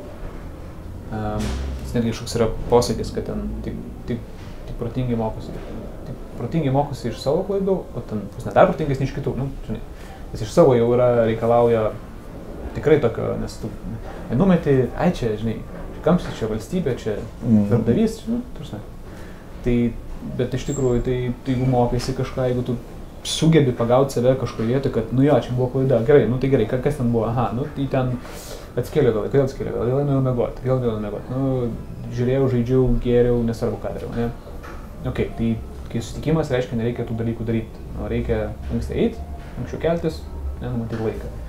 Nu, normalu, ne, tai, tai kai kuriuos atvejus mes taip mokomės iš tų mažesnių tokių, ne ten, bet, e, bet yra, nu, didesnių tokių klaidų, iš kurių gali pasimokyti. Nu, mes mokomės ką, paimam uh, karštą puodelį, a, karštą, kitą Bet tai kartą tas paimsiu už. Teisingai, nu, bet čia tokios labai gan Primityvios, taip. Bet yra tokių gilesnių, kur tu galbūt mąstymo, kur tu, jo, aš blogai mačiau, aš vis tiek mačiau, kad reikia ten, nežinau, dirbti nuo 8 iki 5 ir, ir, ir vat, nu, vat, tada bus atvalio, žinai. Tai jeigu tu tą sugebėjai pagauti po 5 metų, dar turi labai daug laiko pakeisti ir, žinai, gal persvarstyti viską ir, ir, ir, ir galvoti visai kitaip, ir kad nereikia gal nuo 8 iki 5, žinai, gal tiesiog reikia protingiau dirbti ar dar kažką. Nu, gal daugiau, gal tu reikia grįžti iš darbo, jeigu neturi galimybės dirbti, nežinau, po to vakarė, savaitgalį, daryti kažkokį hobį, kuris galbūt išauks į kažką. Tai, tai tiesiog, nu, aš vis tiek manau, kad ten išskirtiniais atvejais galbūt, bet iš esmės ten 99 procentai, kad yra nuo žmogaus priklauso. Jeigu tu nori kažko tai, tai tu paimi ir darai. Jeigu nedarai, tai reiškia, lauki iš kažko, tai gal miškelį, tai gal net taip nori. Nu, ta prasme, aš gal norėčiau, irgi sakau, būti milijonierius, bet ateina kažkas duoda. Gerai, dėkui. Nieko nedaug kaip tapai, nu, na, žinai, sunku, ką buvo. Nes šiaip iš esmės, em, su kuo pakalbėt, nu, nežinau, kas yra turtingas, bet tarkim žmonės turinčius verslus, dar kažką, tai ir, ir nei, nei vienam nebuvo taip, kad iš pirmo karto. Jo, aš sugalvoju idėją, bum, kitą dieną, kitą mėnesį jau pajamos, nu, važiuojam. Milijonas. Visi ten darė 3, 4, kažką tas skolinis, kažką užstatė, kažkur važiavo, kažkur bėgo. Ir vienas istorijas labai tokios, na, romano vertos, kur ten važiavo kažkokie kiti, kažką ėmė, papvogė, pametė, grįžo, vis tiek varė, ten darė, pirko, žinai, ir ten po dešimties metų kai vargo, nu jo, dabar turi verslą importo ir maždaug ten, žinai, milijonas eurų apyvarta. Tai jis ten galbūt nesakys visų, žinai, žiniasklaida dar kažką, nesakys, nu buvo sunku čia ten, žinai, bet jeigu pašneki taip, tai visi ten, nu, žinai, jo dariau, ten vos nesudegė, vos ne tas, vos ne našė, viskas tas, pjoviau, nebenorėjau daryti, švariau, grįžau, nu, tu prasme, istorijos ne, ne visi parodo tą tokį, bet tikrai yra visai istorija, kuri nėra, kad, nes visi atrodo, kad kiti sako, overnight success, startupai, kur, žinai, ne, čia Instagram, aš, o, per naktį Hebra padarė, nedarė per naktį, o jeigu tokių, ten buvo toks kelias, ką jie ir finansavo, ir, ir ieškojo, ir žiūrėjo, žinai, E, taip pat ten žaidimai, kiti visokie tokie dalykai, nėra ne, būna, jie darė penkis metus, žinai, tai tas yra posakis, e, tas overnight success, kuris užtruko penkis metus. Na, ta prasme, kažką darė ir tiesiog, kad sprogo vat, šį mėnesį. Ir visiems atrodo, kad, žiūrėk, nebuvo vakar. Taip, taip, taip. Bum, taip, taip, iš- Instagramas. Snapchatas, e, nežinau, ten, koks žaidimas, kokia platforma, svetainė, kur, o, žiūrėk, čia geras, ką čia, prieš mėnesį pasileido, žiūrėk, užaugo. Nu, tai gal jie darė tam, žinai, tris metus ruošė, nežinau, ten santykius, netvarką kažkokius darė, ten, žinai, statė, gal, nu, ta prasme, yra daug tokių, netgi to Kickstarterio kampanijų, paklausai, kur žmogus ten bėgiojo iš visų pažįstamų perė per savo knygutę, kad ten, žinai, užauginti, tada taip užaugo ir taip tu matai, Kickstarteris paleido vakar, šiandien ten 300 tūkstančių eurų, rytoj milijonas ir visi, gerai, žiūrėk, nieko nereikia daryti. Įdedu Kickstarterį, yra, nors iš tikrųjų visas darbas vyksta prieš tą įdėjimą ir tu turi, žinai, nežmonišką darbą padaryti, žinai, kad tą dieną tau ten surinktų tą tikslą ir permuštų. Ir, ir tos arba, žinai, visi visi sutrumpina, nu, tą, nu, tiesiog, žinai, nu, tai papasakok kaip sekėsi, nu, tai kaip, nu, tai, žinai, tą, na, ir gal tiesiog nesąmon, nu, pasąmoningai tiesiog pamiršta kažkokius dalykus, gal sunkiausius, gal tiesiog taip veikia, žinai, arba jeigu senai darė, tai galbūt, žinai, vėlgi pasimiršta detalės ir taip atrodo, kad ta istorija nebuvo tokia, žinai, sunkiai, kaip galėtų atrodyti. Bet iš tikrųjų aš tikiu, kad ten nežmoniška, žinai, praėjo kaip pavyzdžiui kančias ir kliūtis, kad gautų. Žinai šitą bairį su Angry Birds? Kad tai yra beveik, buvo beveik šimtasis projektas Rovio studijai, kol iššovė Angry Birds. Jo, apie juos girdėjau, kad ten darė nemažai tų... tai Visi darė. Prasme, visi, visi tie appsai ir žaidimai, kurie tai ten vienas, kitas, ten gal pradžioje buvo keli tokie, kurie, na, ten, sakykim, success stories, kur tikrai, bet tada rinka buvo. Pradžioje tų appsų buvo nedaug, ten tave iškeldavo į pirmą poziciją lengvai. Taip, nu, taip, taip. Vėliau dauguma darė tas Clash of Clans, kur ten buvo toksai irgi, ten, žinai, visi galvojo, o, tai čia, žinai, susėda, kai praėjo, ten 15 metų gėjimas daro. Jo, susėdo, nu, tai susėdo, susėdo, susėdo žmonės, kurie turi, žinai, 15 metų patirties žaidimuose taip ir padarė, ten gal čia irgi ten šimtasis žaidimas ar kažkoks tai toks, kur maždaug žino, ką daryti. Tai to, kad rado platformą, laikų ir vietų ir tiek. Tai, tai Angry Birds jo, ir, ir įdėjau, kad ten, žinai, Ilgas ir nuobodus kelias Taip, nu, buvo. tai ta prasme, taip atrodo visą laiką tas, kai padarai, kad, kad kaip ir sako, savo tas, už penkis metus užtruko tas overnight success. Tai, tai, tai, kaip ir gerai galbūt, kai žmonės motivuoja daryti, bet, bet aš manyčiau, kad visų tų, kurie bando daryti, kad žinotų, kad nėra taip lengva, nes, nes paprasčiausiai tavo, uh, nu, jeigu tu galvoji, kad lengva ir staigiai turi sunkumas, tiesiog nu, linkęs mesti. Nes, nu, lemba, turėjo būti lengviau, žinai, gal ne tą darau. Bet iš tikrųjų gerai, kad motivuoja atėjusios istorijos, nu, kažką daryti bet tik tai galbūt kai, kai kuriuose vietose arba kai kur pateikiamas per daug optimistiškai ir tada tas lūkestis mm, netitinka, žinai, tikrovės galbūt, žinai. Vis tiek kiekvienas žurnalas nori tą istoriją vis įdomiau, žinai, papasakoti. Ir, ir šiaip jau aš, aš, aš nežinau, ar pats ten jau sakyčiau, ten, žinai, bemiegas naktis ir ten greikių valgymą, tai labai, žinai, nu, priklausomai nuo situacijos, bet galbūt kažkokių detalių gyvenčiau ir sakyčiau, nu, jo, buvo sunku, teko patupyti, gal ties to apsiribočiau. Bet žinai, tas, tas yra subjektyvų, teko patupyti, galbūt greičiausiai jis tiesiog ten, žinai, pardavė mašiną. Taip. Ar ten, nežinau, Mhm. e, užstatė būtą. Nu, tai čia viskas. Bet iš tikrųjų valgė normaliai. Nors galbūt realybėje aš ten, žinai, ant čiūžinio kur nors kampe, verkdamas valgiau grikius. Bet gal tu nesakysi, nes ką aš žinau, gal keistokai atrodys. Tai, tai, tai dėl to tik taip, bet šiaip jo. Tai yra be galo sunku ir gerai, kad motivuoja, bet nu, aš manau, kad tie, kurie pradės, nu, bus be galo sunku. Nu, tiesiog, prasme. Bet matai, kadangi dabar e, tos sėkmės istorijos jos labai daug skaitomos, žiūrimos, labai daug dėmesio pritraukia, tu pasižiūrėk, kiek dabar, pavyzdžiui, socialinėje erdvėje, socialiniuose tinkluose yra sėkmės mokytojų. Ir kiek iš jų štai tokių, nu blemba. Į verslą, žinai. Taip. Saliginai, gali sakyti. Um, vėlgi, gerai, a, gerai, kad jiems gerai, kad jie daro. Nu, ta prasme, jeigu tu gali kažką padaryti, tai kaip ir, okei, okay, nu, daryk. Jeigu tu gali ten kažką šnekėti konferencijose, kažką rašyti, nesvarbu, tu ten tyrės, nu, jeigu tu tą darai, tau tai patinka, tu iš to uždirbi, na, okei, okay, sugebėjai. Uh, Bet dažniausiai jis tiesiog perskaitė 20 knygų, viduriuką pasirinko ir tą pasakojo, perpasakojo. Taip, tai, tai, tai, tai vėlgi išradingumo žmogaus. Nu, jeigu, jeigu surado auditoriją, kurioje klauso ir ten ją moko už kažką, tai, tai kaip ir negali skaitytis. Aš, tai, taip, jeigu tu nieko nedarai nelevelaus, Taip. nu, ta prasme, Nu, tai, žinai, neskriaudi, ne, ne, tai kažkam. Nekenki kažkam, tai, uh, tai, tai kaip ir nesvarbu, žinai, jeigu tu galbūt, žinai, Nu jo, iš esmės patenka į viską, nes jeigu parduodi prekę, kuri, apie kurią meluoji, tai kaip ir meluoji. Tai jeigu neperžingi tos ribos ne, moralumo kažkokio etikos, tai tada tu gali bet ką padavinėti. Jeigu tu perskaitis knygų ir sakai, kad aš esu mokytas, iš tikrųjų ten gal ne tiek daug patirties turiu, bet aš sugebu kažkaip tai, nežinau, talentingai pristatyti save, nežinau, ten su žiauriai fainas nuotraukas Instagram'e dedu. Nu, taip. Ir žmonės, wow, ir, žinai, hmm, malonė, žinai, ir į mane seka, tai jie seka dėl to, kad jiems patinka ir tai yra gerai, jie gauna tą vertę iš manęs, patenkina kažkokį savo smalsumą, kažkokius kitus dalykus, aš gaunu followerius, kuriuos parduodu ten, nežinau, kažkam. Na, arba kaip sakoma, fake it till you make it. Irgi, irgi tiesiog, bet, bet mano, mano riba tavo, kol tu nekenki, ta prasme, realiai kažkurioje vietoje neperžengi tam tikros moralinės ribos. Visa kita kaip ir, kaip ir ok. Tai tie mokytojai sėkmės, tai gerai, nu, žmonės mato, inspiruoja, aš manau, galėtų dar daugiau. Ta prasme, to, to pozityvų, tik tai, kad jisai atitiktų lūkesčius kažkokius galbūt žmogaus, kad nebūtų, kad, o, žiūrėk, visi daro, nu, tai žiūri lengva. Tai iš vat maždaug čia rytoj apsirų svetainė, tai būna su elektroniniam parduotuvėm. Jūs matai, kaip žmonės galvo, tai čia, puf, tai kam reikia, nu svetainė yra, ten išsinuomai, ten jau 15-20 eurų. Taip. Tada, žinai, prekių gauni kokių, nu ir kitą dieną turėčiau apyvartą gal normaliai. Ir tada turi įstoti ant srautas, vienas kainuoja, kitas nekainuoja, už tą, kuris kainuoja, tu moki, už tą, kuris nekainuoja, tu moki kažkam ekspertui, ten, ne, kuris ten, ten kažką optimizuotų ir pritrauktų, ir tada galvoju, o, ne, man kažką sunkiau. Tai tada su tą realybę susiduri. Tai jeigu jinai nupiešta per daug gražiai, tai tau gaunasi žiauriai lūkestis pra- prasilenkia su realybė ir tu šitoje vietoje didesnį tikimybę, kad tu mesi tą veiklą. Nes tu nu, pagalvos mažką, a, per sunku, b, gal aš netaip darau, nu, ta prasme, nes kitiems lengvai gausi. Bet jeigu jinai artimesnė lūkesčiams, sakykim, ta pateikiama visur būtų, tai, tai, tai žmogus bent jau suprastų, kad, okei, okay, aš tą galiu padaryti, bet tiesiog bus sunku. Nes man tai vien- vien- vienas patinka tas dalykas, nu tas posakis, kad jeigu būtų lengva, visi tą darytų. Žiauriai lengva generuoti milijoną iš elektroninės parduotuvės Lietuvoje, tai elektroninių parduotuvių būtų pilna. Kadangi taip nėra, Tai tos, kurios generuoja tiek, yra mažuma ir yra likusios, kurios generuoja nedaug, tada likusios, kurios generuoja vienam žmogui, ir tos, kurios negeneruoja nieko. Reiškia, maždaug žmonės bandosi ir panašiai, arba jiems nepavyksta. Tai taip yra ir tai bus. Niekada nebus taip, kad vis, vis vienoje srityje visas verslas generuoja daug, tiek pat. Ne, bus vis tiek kažkas mažiau, kažkas daugiau, Nu, taip. kitaip neįmanoma. Tai, tai tiek, jeigu tą žinai ir sutinki, kad bus daug darbo ir kad nu, tai, tai sėkmės tikimybė vis tiek maža, tai tada galimtis.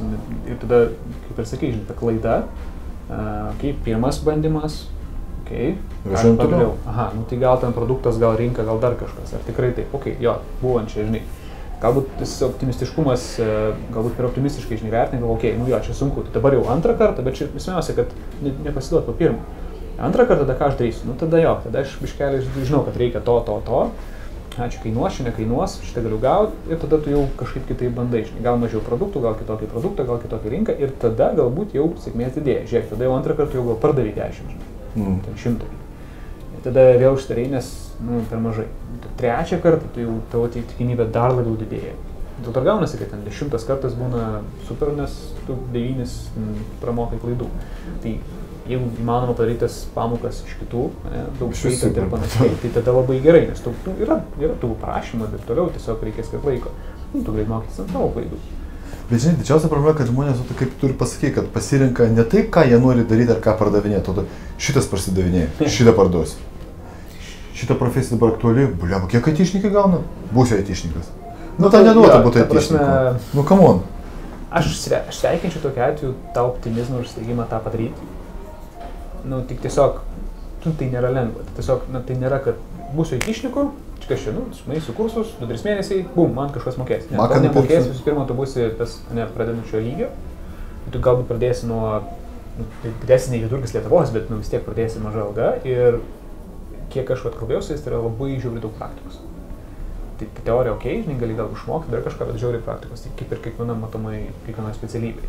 Tai jeigu tu nusprendai ir tu gal tebūnie pasirinkai pagal populiarumą ir sakai, o, IT, programuoti uždirba daug, noriu. Super. Jeigu ten gali išėti iš darbo, išeik ir pus metus ten kursai, seminarai, ką tu ten gali sauliaisti, pats praimk svetainę, draugų padaryk svetainę, nu, žinai, ką tu ten nori, ne. Ir jeigu tu tau ne- nedings užsidegimas ir, ir, ir, ir tau patiks, nu, tai valio, daryk ir tu ateisi. Ten, iš esmės paėmus, kad nuo tos dienos, kai nusprendai, metus gerai įdėsi uh, į, į save, investuos ir, ir gausi praktikos, tai aš garantuoju, kad tu darbą dabar gautum nuo, sunku pasakyti, bet kaip tūkstantis eurų į mėnesį tikrai gautum. Nu, po metų, bet tokio. Tai, ir, ir netgi galbūt ir greičiau, nes yra įmonės, kurios linkusios investuoti, jeigu tu kažkiek žinai, tai jos ten moka tave, plus ten duoda žinai darbo. Tai čia yra daug, nes tu tik tai metus praleidai, ne? Tu univerį mokaisi keturis. Tai kiek, ant kiek tu gali sumažinti tą? Tu gali galbūt, jeigu, jeigu gali išeiti iš darbo, tu gali galbūt ir greičiau, nes tu visą dieną skiri kiekvieną dieną. Jeigu negali išeiti, tu skiri vakarų savaitės, nu tada galbūt išsitėsi. Bet vėlgi, paėmus tai atrodo daug, bet paėmus ten, tarkim, kad tau 20, bet 30 tu gali būti geras specialistas, tai 30 tai nėra labai daug palyginus tą visą gyvenimą, ne? Metus skirti savo, ne, ir išmokti naują specialybę. Bet metų atrodo labai daug, kada tu į priekį galvo, blema metus reikės mokytis. Taip, Bet kai tai- praeina tie metai, visus metus, blema, Tai kaip greitai prabėjo, kas tie metai. žiūrėk, Kas tie metai? Kovas, visi, o pavasaris jėga, tu bus atšils. Ei, ką atėjo vasara, o, rugsėjas. Tada kas? Nu, rugsėjai, fainas ruduo, u, blemba, kalėdos. Nu, Viskas taip. metai. Vėl Ta prasme, prasidėjo. nes žiema yra bloga, ir žiema yra kalėdos. Nu, taip, Ta prasme, galima tiesiog šventės, ne, tas gruodis, kuris, o, kalėdos, fainas, žinai. Tada su jais toksai, a, nu, ką veikti, tada kažkaip prasisnu laukti, tada kovo žiauriai. Ne? Ir tada, kai jis ateina, žiūri, kaip prabėga, nes yra vasara, šilta, gera, ir tada, nu, atsibundi rugsėjai. Nu, Ir tu atsibūni tai jau 30. Ir Jo, ir tu, galvoji, tu galvoji, kad tie metai nėra taip daug. Aš garantuoju, kad bent kiekvienas turi draugų, su kuriais bendravo, bet nesimatė metus arba pusę. Nu, toksai, žinai, kurios lygiai atrodo nesenai sutikę, bet iš tikrųjų, jo, mes gi prieš pusmetį, žinai, tokie būna. Taip. garantuoju, kad kažkas yra sakęs, susitikę, žiūrėk, tai mes visai buvome susitikę. Ne, ne, vasara. taip, taip, taip, taip, taip, taip. Teisingai vasara. Nu. Pusę metų. Pusę metų. Tai čia atrodo, kad maždaug valanda, ne? Tai, tai žiūrint, kaip tu tą laiką žiūri, tai paėmus metus, investuoti save stipriai ir pasiektas rytį labai sveikintina. Nu, tiesiog tik tai, nu, nereikia galvoti, kad tai bus labai lengva. Aišku, vieniems gali pasiekti, žinai, jūs pradėsite ten po trijų mėnesių netyčia pamatyti skelbimą, ne, nu, tai čia tokie sutapimai. E, Nors aš ne visai tikiu jais, bet e, taip gal tik draugas papaustins kažką į Facebooką, bet, bet vėlgi čia e, labai atsitiktinumai daugiau, bet galbūt tada tu netyčia nusiusi, nu, CV ir, ir manydamas, kad gal ne, bet gal priims, nes įmonai žiauriai reikia. Nu, tokių būna kartais laikų ir vietoj.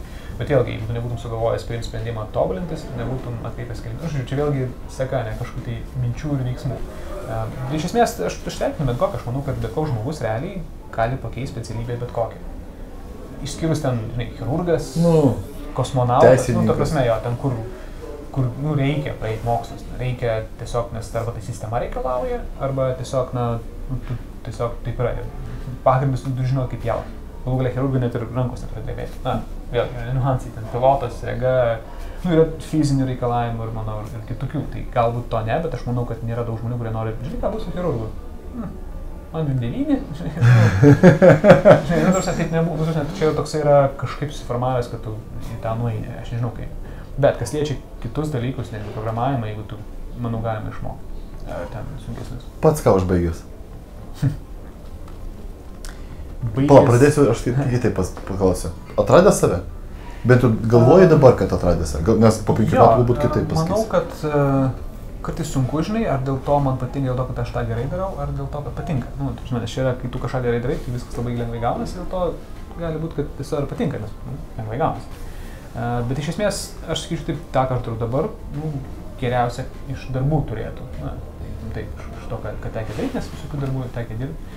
Tai tas yra geriausia, nes um, dirbti gali iš bet kur ir bet kada ir bet kiek. Ne? Tai, tai, tai tas yra didžiulis privalumas. Ne? Nu, šiandien nuotaikoje, ne? Na, jo. Arba, op, Ta prasme, um, tai vis tiek n- neatleidi to gazo, nes uh, disciplina turi būti. Uh, bet jeigu, tarkim, žinai, penktadienį nesijauti, kad tu, nu, nu, bet ne, neina, negaliu, nu, negaliu, ne, tarkim, nu, bet koncentracija, nežinau, neina mintis, nes, žinai, kaip būna tokia, nu, Taip. ta prasme, tai tu ne, neprivalai sėdėti. Žinai, nu, tai aš neįsiu, nes pamatys vadovas, kažką tai tokio. Tai tu tiesiog, nu, aš sakyčiau, visos įmonės turėtų sakyti, jeigu nedirbi, ne, nemarinuok laiko, aš sakyčiau, eik vadovas. Ne, tu, nuo to niekas nepasikeis. nieks. Bet, okei, okay, tebūnė ten ta, žinai, laikas, ojojo ir taip toliau. Bet e, šiaip iš esmės tokiais atvejais yra privalu. Arba, nu, nežinau, sunkus savaitgalis, dar kažką buvo ir tu, nu, tu nesikelsi šeštą. Nu, Tu aštuntą išsikelsi. Nes aš stengiuosi laiką keltis šeštą, nu, tiesiog dienos ritmą palaikyti. Mhm. Mm. Bet, nu, tarkim, ai, nu, fu, žinai, kažką, nu, mažą ką. Bet būna ir atvirkštinis variantas, ne? O šiandien vakare atsisėsiu, kažką pažiūrėsiu, čia filmą atsisėsiu. Bet jauti, kad, nu, bleba, norisi, kažkaip nesinori to filmo žiūrėti, norisi padirbėti. E, Žiūri, kad, o, ir eina gerai, čia nuėjus ir laikas prabėga ir padariau. padariau darbą. žmogus galbūt taip. Niekad nebuvau, nu kur man Labiau ryto, ne? Su, jo, sutemsta man iškart vakaras. Vakaras lygų. Tai čia galbūt, man e, galbūt čia, žinai, yra, tą galima pakeisti. Nu, yra įpročio reikalas, o įpročiai galim keitimi, nes tavo asociacija vakaro, kaip asociacija savaitgalio su kažkuo tai, o vakaras to, tai tą galima pakeisti. Tiesiog aš nematau dabar poreikio asmeniškai, nes, nu, aš atsikeliu tiesiog ryte, žinai, šviežiai, viską tvarkoju, pasidarau, ką reikia ir aš jau planuoju taip dieną. Jeigu kažkuria prasme man tai tektų keisti, aš manau, įmanoma, galbūt būtų sunku, nes tai yra gyvenimo įprotis, bet manau, įmanoma tą pakeisti. Ir, ir yra pora neblogų knygų apie įpročius, kur, kur jie netgi įpročiai smegenyse kitur laikomi. Yra tiesiog įgūdžiai, nu kaip vairuoja, nežiūri bėgius. Taip. Tai yra toksai, nu, tai yra įprotis ir tą tu gali padaryti. Ten yra tam, tikras, tam tikri žingsniai susijęs su uh, trigger, yra nu, ne jungiklis, bet na, tas ne toks kaip Nu, lietuviškai. turbūt, kad ir bus kaip Kaip pas jungiklis, Taip. rutina ir um, atlygis. Tai yra įpročio fazė. Ne? Tai yra jungiklis kažkoks, nu tai vakaras. Uh, rutina, tai tu kažką vakare darai, žiūri tą, kurį išsivysti ir atlygis yra tas malonumas, ką tu pajauti iš ten, žiūrėdamas filmą, žaidžiant dar kažką. Tai dažniausiai taip gaunasi, dėl to susiformuoja, tarkim, pradžioje gali būti, nu, tarkim, Magda, nu, į McDonald's, kaip žmonės vaikštant, buvo tyrimas, kad pradžioje būna alkis, nu, kad tu užeini vieną kartą, gal vieną kartą į mėnesį nieko nebus, tai pabiškai atsiranda rutina, kad tu gal du kartus ir, ir, ir atlygis yra tas maistas, nu, McDonald's, žinai, kur tu pajauti. Tai tas kaip vieną kartą atsisuka, tada antrą kartą praeini, žinai, tada galbūt jau kartai dvi savaitės užeini. Ir tada tas, jis tampa toksai, žinai, išsisuka, išsisuka, išsisuka, ir tada smegenys į, op, ir į įpročių duombazę. Ir automatiškai veikia. Tai, tai žinant, tuos gali pakeisti tą jungiklį, nu, tą tokį, kas tau, žinai, kaip dėl to, kad sportuot vakarė, dar kažką, tiesiog turi prasukti plokštelę, kad tau vakaras, trečiadienis, o, man taip yra su krepšiniu, aš ketvirtadienį žaidžiu, žinai, ketvirtadienis, krepšinis, aštunta, atlygis, nu, rutina, krepšinį, krepšinį ir atlygis, nu, tam sportas, malonumas ir taip toliau, ne? Tai, tai tas įsizulina ir jisai saugomas įpročių dumbas. Dėl to, kai užsirašinėjai batą, žinai, kurį batą pirmą užsirašai. Žinai, ten, nu, kiti sprendimas apsirengti, ką pirmą ir taip toliau, čia yra iš įpročių išugdyta, tai šiaip labai, labai įdomi sritis, jei kažkas nori pasigūglina, yra tikrai nemažai literatūros, bet remiasi tokiais vat jungikliais. Ir tu gali pakeisti jungiklį, nu, tą ir rutiną, ir žinai, kas yra atlygis, ir taip įsiugdyti įprotį, kokį tu nori. Keltis anksti, pradžioje bus, nu, sunkiau, bet tu zulinsi, zulinsi, to po to esi tiesiog, pum, šitai keliuosi, žinai, e, tas ten, Stevenas Kingas, kaip rašė, yra ta pati kėdė, tas pats stalas, taip pat palikta mašinėlė, lapas įdėtas, viskas, Mhm. viskas, viskas, nu, identiškai, kiekvieną rytą jis atsėdavo rašydavo lygiai taip pat. Nu, tas tiek viskas padaryta į tą, tą įpročio fazę. Tada jis įeina, nu, kaip pat įeina į tą rašai. Ir daug kas įpročių ten. Ir treneris Amerikai, man, tai, man čia buvo kosmosas. Jis kasdien, kas rytą skaito 2 valandas. 20 metų. Kasdieną. Kasdieną. Man, man toks toks buvo, tai atrodo, nu tai joks skaityti, bet kasdieną, nepraleidęs nei vienos dienos, 20 metų. Skaito po 2 valandas ryte. Ir man toksai, toks, nu, 20 metų. Nu, Žinai, 20 metų. Man, man toks miškelė, tai žinai, ar turi kosmosas pabaigą, ir tu bandai smegenis rasti kraštą, nu, kai, jeigu mes tik kris, nu, tokia mintis, kad 20 metų. Čia yra toks, nu, čia skaito knygą dar kažką. Tai, tai, tai, tai tą gali užsiugdyti, dėl to ir sakau, kad tai nėra, žinai, um, nėra, nėra, niekas yra baigtinė, tikrai yra labai sunku, žinai. Uh, klausimas, uh, tai, tai toks trumpas atsakymas į tai ir aš atrodo, jo, aš manau, man patinka tai daryti, man labiausiai patinka žinai, seminarai, patinka konferencijos ir išnekėti, nes, nes jauti, kad kažką gražini, na, kaip sako, gražini kažką visuomeniai. Uh, labai fainai, kažkas kažką sužino naujo, žinai, matai tai, o, o geras, vienas žmogus sužinojo, jas. Tai tas faina, taip, tą, ką darau irgi faina, nes, nes ir žmonių daug ir, ir, ir, iššūkiai įvairūs, tai tai tikrai iš to, ką darau faina, kas dar bus ateityje, nežinau, prasme, tikrai kažką dar bandysiu, kažką rasti ir panašiai. Tu esi parašęs keletą knygų, A, šiaip a, viena oficialiai, a, antra bus kitą savaitę. kitą savaitę. Yeah. Pirma buvo, Apie Adoras. Nu, ta prasme, tiesiog, Taip. e, man žinai, knyga, man čia toksai lietuvių brožas tas nuvertintai, bet um, man knyga visai buvo kažkoks storas romanas, žinai, kur žmonės ten įdėjo. Tai, tai, tai ne galbūt teoriškai knyga, bet jo, tai yra tiesiog gidas, kur aš sudėjau, um, kaip tas kampanijas susikurti AdWords ir tiesiog kiek iš praktikos, ko reikia, ko nereikia. Tai mano tikslas štai buvo, kad uh, pastebėjau, kad yra daug žmonių, kadangi tas AdWords rinkas yra pakankamai platus, nu, skirtas visiems, ne, mažiem ir dėliem. taip, Automatiškai yra funkcijų, kuriem vienų reikia, tam nereikia. Tai jinai buvo tokiem žmonėm, kurie patys nori. Ne, nu, tiesiog aš turiu laiko, nu, sakykime, turiu elektroninę parduotuvę, žinai, ką aš samdysiu.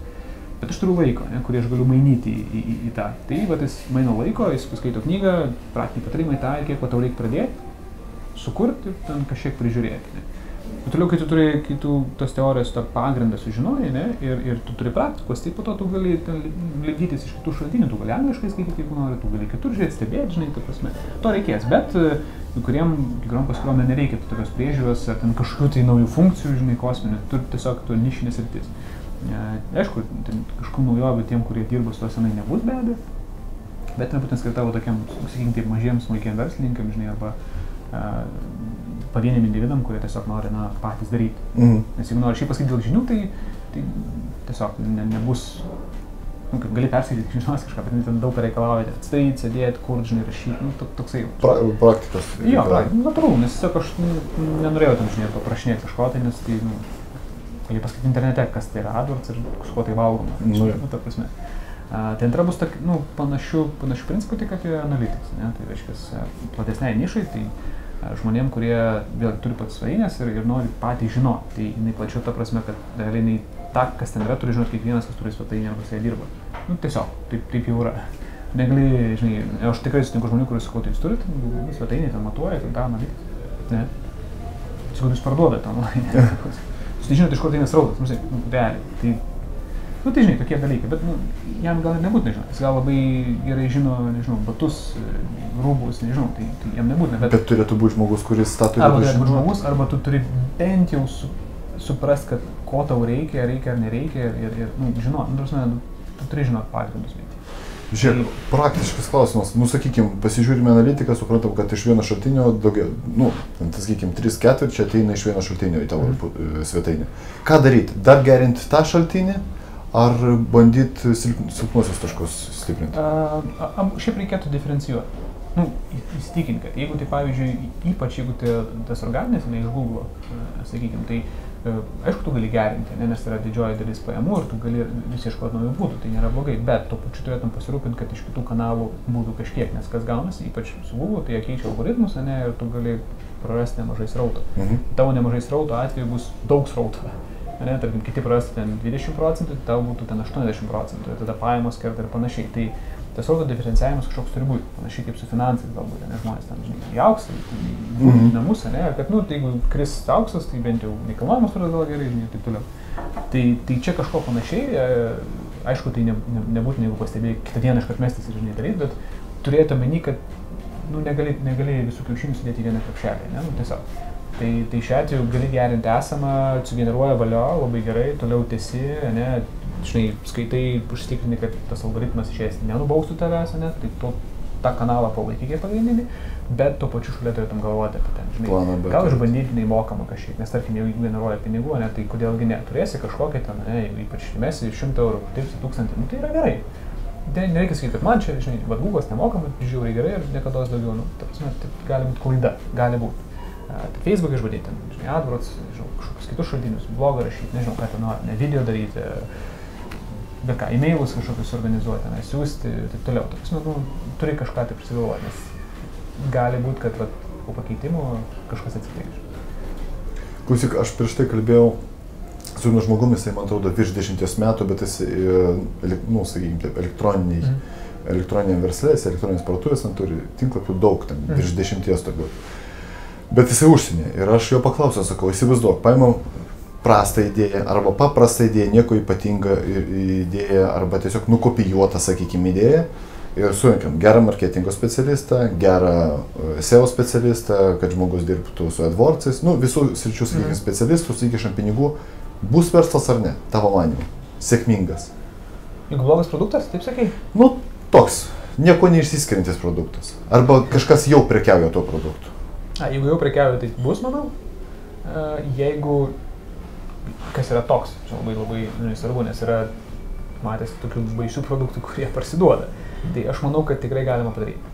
Ta prasme, nes, nu, marketingas savotiškai melas, žinai, kaip, kaip, kaip, kaip tu, kaip tu viniuosi, bet um, strategijos klausimas, žinai, uh, pateikimo klausimas, produkto ir taip toliau. Nu, prasme, tikrai yra, kad atsidarai ten kokios kiniečių, žinai, nu, ten magiškas, nežinau, taip kažkas tai ten super kvepalai, žinai, super švarkas, nu tiesiog aprašyta nuotraukos kokybiškos, nu tu, wow, žinai. Tai tas pats topšukas.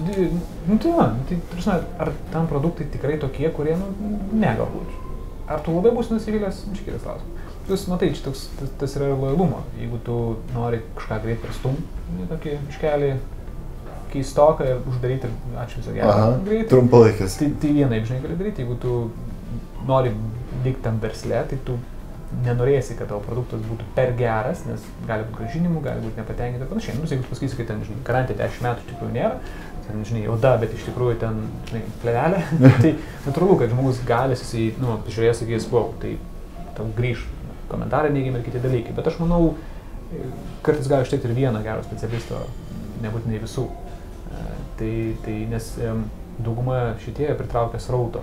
Nu, visi marketinginiai kanalai tau srautai svetainė. Tai bus svetainė paruošta tinkamai, žinai, nuotraukos, ten pristatymas, žinai, ten šlis video, žinai, ten video žmogus įtikinamai kalba, kad mano programa generuoja milijonus ir tu žiūri, kad jis dirbęs ten. Ten nesvarbu, ar dirbęs ar ne, bet tas patikimas, nu, tai kiek schemų buvo, žinai, kaip žmonės atrodo, kaip pasimauna, ne, ten žiūri, kaip tu ten, ten čekiai nufotkinti, ne, ten, va, aš gavau praeitą mėnesį, ten, tu, ne, nu, Ir žmonės tai perka, jo geras, ir čia tokie psichologiniai, dėl to aš manau, kad tikrai gali ištekti vieno, gal net gero pardavėjo. Dizainą padarys, tokį dizainą užtektų bet kam padaryti, programuoti, bet kam SEO gali nereikėti, nes paprasčiausiai, kaip nereikėti, nes greičiausiai gali tikėti, kad darysi trumpam laikui, nes kažkur pradės, žinai, žmonės susigriebti. Um, tik tokio gero pardavėjo, kuris tikinamai pateikia uh, tą medžiagą, žinai, svetainį, ne, nuotraukas, video, uh, tipo atsiliepimai, e, nežinau, ten informacija visa, laikrodukas tiksi, žinai, pasiūlymas geras, nu, visą tą įvelka į tokį, kur tu neturi laiko, žiauriai gerai tau ir tu dabar turi tą padaryti.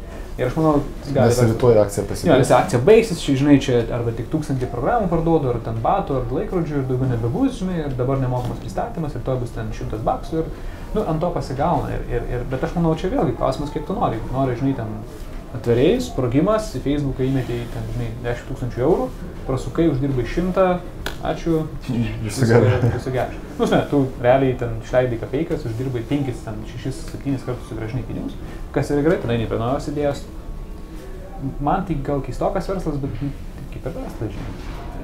Bet uh, jeigu tu eini tą ilgalaikę, žinai, mes- žinai, brandas, lojalumas, kliento aptarnavimas, tai nu, sunkiai prisisuksi to nu, žadėjimo, ko nėra.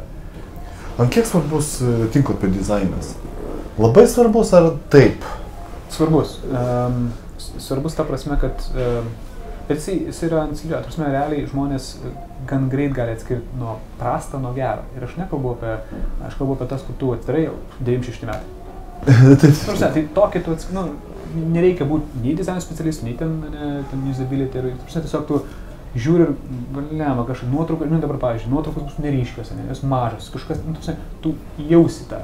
Ir, nu, aš kai tas seminarą rodydavau, sakau, nu, bet šitas ir šitas, nu, tai, nu, aišku, šitas yra senas, nes, nu, tu nežinai, galbūt kodėl, nepaaiškinsi, net ten niuansų, bet tu matysi, kad nu, kažkas negerai ir su tuo, kad kažkas gerai. O tas kažkas gerai jau ten, ar bus gerai ir biškutį geriau, jau nebesvarbu, ar, tas, ar šių metų dizainas, ar praeitų metų dizainas. Jis turi būti aiškus, netrukdyti vartotojui atlikti tai, ko jis norėjo a, ir pakankamai naujas, kad nu, jis netrodytų senas, kad užmestas ir nepat, o tai reiškia, gali būti nepatikimas, net neatnaujinamas duomenys ar dar kažkas. Tai. Bet iš esmės, nu, kol jis yra, sakykim taip, e, netrukdo, aiškus, žinai, ne, nėra per daug, ant tiek modernus, kad yra, žinai, nuotraukos neaišku, kur spaus, nu, tokių kažkokių kreizi. Tai tol jis bus geras. Nereikia, žinai, kasmet atnaujinti dizainą vien dėl to, kad trendas pasikeitė. Tiesiog reikia, žinai, žiūrėti vartotojus ir panašiai. Bet jis turi svarbus, nes jis turi tą patikimumo faktorių, nu, daro įtaką. Nes tu, pasižiūri kartais, žinai, dažnai užeina ten kokią nors naujienos, naujienos. Ir ten 2.14 rugsėjo 6. Nu taip. nu. Mes klausimais naujos. Nu, tai, na, okay, galbūt kiti kažkur atsinaujinama, tai bet kartais būna tokių ženklų, kad išimkite tas naujienas, nu, aš ne. Ar ten kiti dalykai, kur tu kažkaip tai nėra telefono numerių, nu yra tokie dalykai, kur tu paklikini ir tu matai, kad kažkas Kažkas keistoka ir tiesiog jau tirti, kartais nebūtina tau žinot, kad čia, žinai, ar čia naujas dizainas, ar čia senas dizainas. Tiesiog matai vaizdą ir tau nepatikimai atrodo. Ir dažniausiai tai rodo po tam tikro laiko, tai vat, sakau, ten, žinai, buvo 90 tūkstantieji, ten tas užsienai, kur mobilaus nepalaikė, nu, tu žiūri, ten tekstai keisis, spalvos keisis, nu, žinai, toksai jau kur Šriftai ten tiek perėjo, kad kiekvienam aišku, kad čia jau, jau senas, nu, yra ta riba. O kai tą ribą perėdė, tai labai sunku paaiškinti. 20 daryti ar 216. Nu, tai, žinai, jau, jau, jau tą reikėtų, iš, ne tai kad išsilavinimo, bet jau akies, kad sakyt, žinai, čia senas, čia 20-ųjų, nes čia eina tos spalvos, žinai, čia dydžiai, čia jau senesnis. Bet jeigu imsi bet kokį realiai, kur ten tas dizainus pardavinėja daro, tai, tai, tai vienodai eina. Žiūrės nuotrauką, žinai, minimalizmo kažkiek, tai jeigu tiek yra, tai užtenka. Žmogus žino, kas tai yra, ką reikia daryti, kad jam gauti prekę, apmokėjimas veikia, svarbiausia ten dalykai, tai užtenka. Klausyk, grįžtant prie šitų AdWords'ų. Tavo, ma- nu, AdWords'ai pasirodė kada? Prieš 90 kažkėlintais, man atrodo, jie pasirodė. 99, aš žinau. Vat prieš pat kažkas tokio, ten, 2000-uosius. jo, ten senokai. Iš pradžių kaina, aišku, buvo suprantama, kad labai maža, bet dabar, nu, lempa kokius gal 4-5 metus, nu kaina kosminė. Ypač jeigu žodis yra labai populiarus. Nu, aš manyčiau, kad uh, Marius pirmą online verslų padidėjo, nu, besireklamuoja. Taip. Tai akivaizdu, kad kaina, o tai yra vis tiek pusiau aukciono principų paremtas, tai na, jinai auga. Uh, kitas variantas, šiaip kainos auga visko. Nu, tai gal mažiau nepaimsi per ten vertėjimas, infliacija, žinau, kiti dalykai ekonominiai, tai auga tas. Um, kita vertus, buvo tam tikri dalykai, kur Google'as darė pakeitimus, kur, žinai, jų teigiamų ten kažkas padėjo, aš kiek, stebėjau, tai tiesiog išaugo kaina. Um, tai Aš manau, bet čia kitas dalykas, kai mes kalbėjom to, kad daug šaltinių ateina iš organinio, tai, vis- tai yra tokių, kurie iš adoros laikosi nemažai. Nu, žinai, jie įmeta ir gauna ten, nežinau, 5-10 x gražą, jiem gerai, nu, ten, žinai, SEO, e, čia, mes Mhm. va įmetėm, tai ramu, žinai. Tai lygiai taip pat, kainos auks pastoviai. Tai tu, jeigu dabar ten, žinai, tu tau 1 prie 5 graža, bus vienas prie keturių, vienas prie trijų, vienas prie dviejų ir kažkur vietoje tau neapsimokės. Taip. Jeigu turėsi vieną šaltinį, tai tau reikia, o, darom greit SEO, SEO greit nesidaro. Ten kiti dalykai irgi, laiko reikia ir taip toliau. Tai, tai taip, Facebookas brangs, Adus ir visi brangs. Aš netikiu. E, kita vertus, e, kadangi yra ir daug besireklamuojančių ir, ir, ir labai lengva dabar, pavyzdžiui, palyginus su praeitais, kaip Adus atrodo interfejsas ir pasileidimo dabartinis yra žymiai lengviau. Prasme, tas e, galimybė pradėti reklamuotis yra žymiai paprastesnė. Dėl to daug žmonių tą daro galbūt ne visai teisingai, tai pakeldami kainą. Nu, tiesiog, ne, tam, sumeta, max, žinai, bidas, A. ir ten labai nesigilina, ten kažkas sukasi, kitiem užkelia, kiti irgi kelia, nu, ir tada, žinai, toksai, tai, tai tas irgi būna, tas neteisingas žvitarimas, tai kartais kenkia, nu, visiems. Visą rinką. Uh, jo, nu, visai rinkai, ten, žinai, galbūt vienas neįtakosios rinkos, bet kadangi taip lengva, nu, maždaug ten gauni kuponą, susikūrei, kažką sumečiau ir, nu, pilna ten tų video, bet tuo, ties to nesibaigia. Tai dėl to gaunasi, kad jų prisikūrė, žinai, ir gaunasi, kad labai besireklamuoja, netaip daro gerai galbūt ir, ir, ir iš, iškelia kainą. Bet aš manau, čia, žinai, nu, tai yra verslas. Taip. Nežiūrėkime, AdWords kažkokį, žinai, labdaros, tai yra masyvus tarptautinis verslas, kur generuoja nemažus Milijardus žinai, jo. turbūt ten įsigeneruoja. Tai natūralu, kad jie optimizuoja, žiūri, gerina, žinai, galbūt maskuoja kažkokias čia, vad, nesujungiam, čia padarėm, čia bus geriau, bet iš tikrųjų kažkokio pabrango, nu, ta prasme, žinai, kaip ten, tai yra, tai yra biznis, žinai. Ar tai daro tai ją gerai, žinai, kalbant apie tą visą etiką ir panašiai, bet tai vis tiek yra biznis su akcininkais ir, žinai, ne- nereikia tikėtis, kad čia dabar, nu, vyrai dabar, kad bus nemokamai. Tiesiog, Nesulauksi. mes uždirbom daug, čia pasitiriam čia su visais ir, ai, žinai. Tai taip nebus, visą laiką auks, kažkas keisis, žinai, tai, tai galbūt priklausys vėliau, žinai, koks nors ten, nežinau, kiekvienas robotų algoritmą optimizuos, nes tiesiog tai tap apsimokiau, nes jie ten, žinai, reaguoja protingiau, galbūt reikės šiaip žmonių išmanimo kitokio, nežinau, ne, kad rasti tas skilės. E, Bet, bet įmanoma, įmanoma, žinai, aš nežiūrėčiau tą galbūt paspaudimo kainą, kiek tokį, aš nemanau, kad čia geras rodiklis, aš tiesiog žiūrėčiau, kaip į metus šimtą, gal tūkstantį, ar kiek ten tau Mhm. ta graža. Tai Klausyk, kadangi sukiesi šitam, nu, su socialiniais tinklais, su Google, kas tavo manimo, nu, sakykime, jeigu dar prieš 15 metų nebuvo, pavyzdžiui, Facebook'ai, buvo Instagram, o dabar tai tokie grandai, gigantai. Mhm. Tavo manimo po 20 metų, po 10 metų kažkas naujo atsiras, kažkas praras pozicijas. Na, įdomus klausimas. Aš manau, kad taip, nes jeigu būtum paklausęs ten 2-2, 2-3, kokiu nors... Bet socialinių tinklų ir nebuvo, nu kas buvo, MySpace buvo. Nu jisai buvo to. Tai buvo, man atrodo, ten buvo Friendster, Friendster buvo. toks, kažkas tokio, buvo MySpace, kuris užaugo ir ten, nu, čia, žinai, čia Bet jisai- daug, daug, kas, daug kas prognozavo ten kitų, kad ten, žinai, ir, manau, atrastum, kurie sakė, Instagramas nevažiuos, nes yra Taip. Facebookas, šiaip apskritai buvo tokių tikrai, kad Instagramas nevažiuos, nes yra Facebookas. Ne, nu, Uh, tai labai sunku pro, prognozuoti ir, ir nenorėčiau, kad aš jeigu būsiu kad nors labai žymus, kažkas ištrauks šitą video, sakai, žiūrėkit, jis sakė, kad Facebookas mirė. Nu. Ne, iš tikrųjų aš manau, kad uh, manau kažkas atsiranda, nes, žinai, visi gali sakyti, va, Facebook'e atsirado Snapchatas, 23 milijonai įvertinimas dabar, milijardai, sorry, Instagramas, kurį nupirko, ne, nu, prasme, vis tiek tai tokie... Um, 23 milijardus Jo, kainuoja Snapchatas. Snapchatas, jo, įvertinimas dabar, nes į biržą. Jam siūlė 3, man atrodo, Facebookas kažkurio metu, atsisakė dabar, kai išėjo į, į biržą, tai 2-3. Dažnai. Tai negali sakyti, aš judu, aš manau, kažkas bus. Aš matau, ateina VR'as, e, ne, virtuali realybė. Tai Tu galvoji, jisai būt, žinai. Aš manau, jo, aš manau, kad labai, labai nemažai, bet palyginus, kas čia buvo, kad, nežinau, 3D printingas, ne kažkoks toksai kažkas tokio. Nu, vat, ne, o čia labai daug kas pritaiko įmonių, žinai, labai pinga, gei, labai žaidimai laukia, nu, ta prasme, aš manau, žaidimų rinkoje, ta prasme, kosminiai pinigai, tai aš manau, manau, atpigus, dabar gali įsigyti, nu, žinai, Taip, taip, taip. tai vis, nu, tai aš manau, tas prieinamumas ir sumažins labai stipriai kainą ir viskas. Tai ar bus socialinis tinklas, manau, bus tik tai koks jis bus, žinai. Nes ats- atsimink yra mašinos, sujungimas su mašinom, virtuali realybė, yra daug tokių auga, ten Tesla, ne, jie visai kitaip masto ir, ir žinai, matyti galvoja, kas yra Elono Musko, tai čia yra kažkas, nu, vis, visai kitaip mato pasaulį daiktą, žinai, kaip matrica, aš kaip sakau, žmonės, kurie viską mato kaip matricai, jie nemato ten spintą, jie mato ten, žinai, išsiardo ir ten galimybės su biznio idėjom, žinai, ten jie taip mato, o mes, nu, žiūrėk, stalas kažkoks, žinai, medinis, ąžuolas gal, o jie mato, žinai, ten optimizuoja, aha, čia ne ąžuolą, čia pakeičia. Tai aš manau, kad kai kurie taip mąsto ir kaip bus iš tikrųjų labai įdomu, bet ar nepraras pozicijų, sunku pasakyti. Bet Google turbūt niekas nedavers. Irgi toksai, nu jie nėra taip, kad jie visur ten užima. Nu, dabar jie paieškos- tiek neužima 9 procentų Nu. rinkos. Jie užima ten šiam 7. O kas dar bingas, kas dar? Bingas, nu, matai, baidų Kinijoje. Kosminiai skaičiai. Nu, ta rinka, ne. Taigi ne čia jie. Yandeksas. Uh, Nu, Rusija, taip.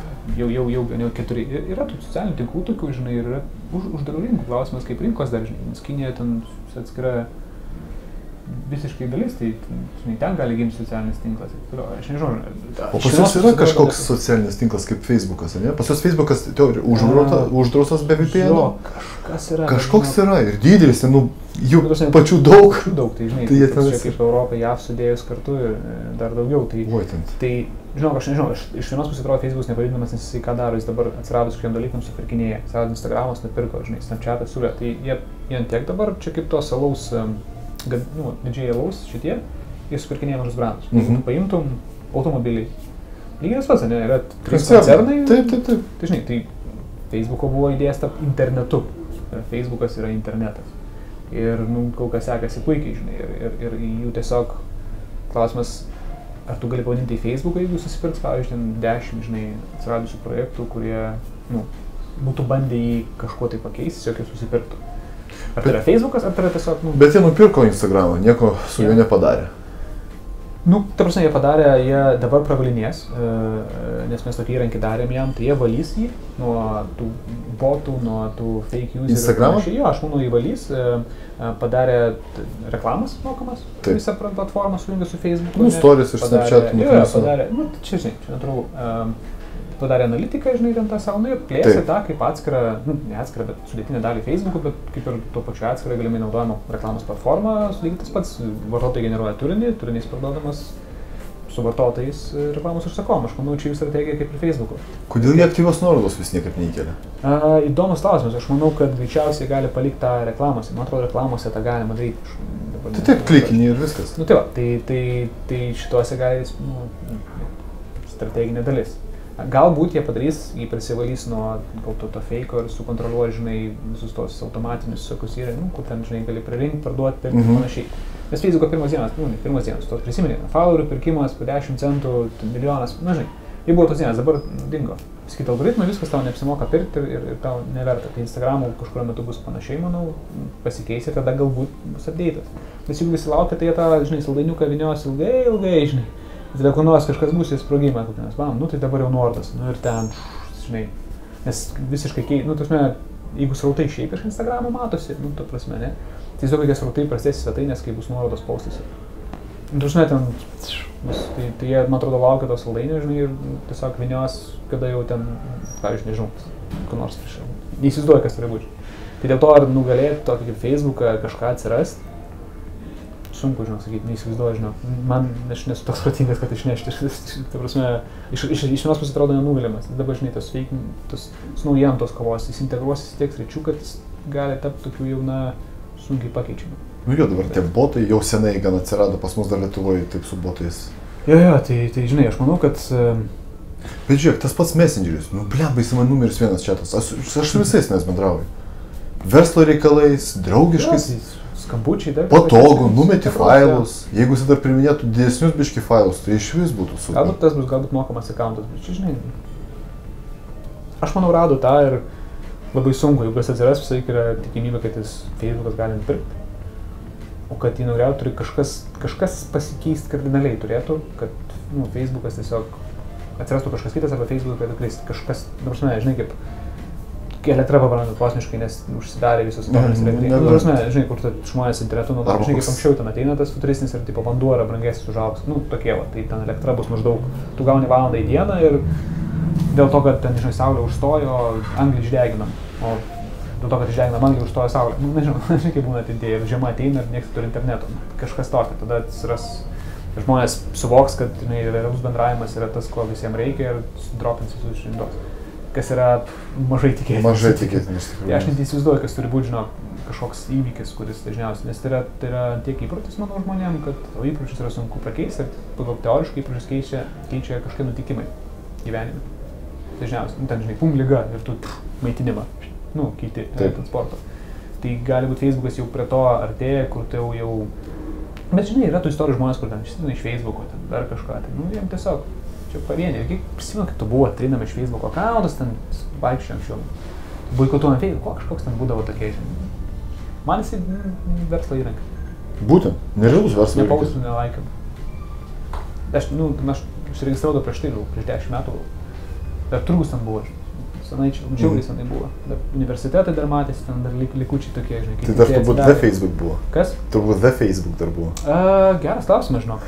Jo, bet žiauriai senai, jis tik buvo tie pirmieji, pirmas dienos, kai jisai, nu, viešai atsidarė ne univerams, o visam pasauliu ten gavosi. Tai, tai evoliucionavo į kažką tai tokio ne- neįtikėtino, žinai. Tai, nežinau, žinai, čia. Bet vis tiek, ne, aš neišaugau, man nėra tas įprotis kažką papaustinti, ne, nepalaikyti, komentuoti. Ir šitas, tas, ta, praskipino tą žingsnį, matomai, tas ne, nepagavo mane, žinai.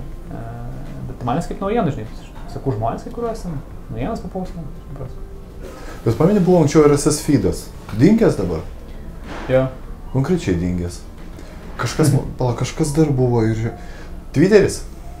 Twitteris Amerikai normaliai. Aišku, ten, žinai, jo, aišku, ten yra Bet irgi. userių Video, live video, ilgi, jau padarė, man atrodo, ilgesnius postus. Uh, jo, Jo, re, tas- retweetus jisai neskaičiuoja. Nu, bando, jisai bando visokiojopai, bet... Ne, Twitteris tik tai, kad nustolingas, man atrodo. Taip, taip, taip, jis- konkrečiai tai- nustolingas. Nežinau, kaž, kaž, kaž, matai, mm, verslam, aš manau, tas nuostolingas yra ne taip, mat- ne visiškai, ne- nebūtinai matuojamas pagal pinigus. Ne? Tai nuostolingas gali būti, jeigu tu turi ten vartotojų bazę, duomenų kiekį, nežinau, priima prie kažko. Tai prasme, tas nuostolingas yra labai subjektyvus terminas. Neneša pelno, bet nereiškia, kad jisai neturi kažkos tai vertės kitos, kurią tu gali kažkur panaudoti. Nežinau. Bet klausyk, kodėl, pavyzdžiui, pas mus neiššovė Twitteris? Dėl to, kad vaikai, paaugliai nesinaudoja. Aš manau, kad mes esam vieno dalyko tauta. Labai teisingai Galbūt taip. pasakė. žinai. Facebookas. Ir- Facebookas. Instagramas pas mus vis vien gan silpnas. Instagramas auga, bet aš manau, auga tarp jaunesnių. Nu, nemanau, čia kažkas pausto statusą, tai yra jaunimo. Jis nežinau, tuoja. Nu, turi fotkinti, Instagram'e turi fotkinti. Daug. Ta prasme, Tiesiog posto Aš negali. tai pamirštu. Nu, prasme.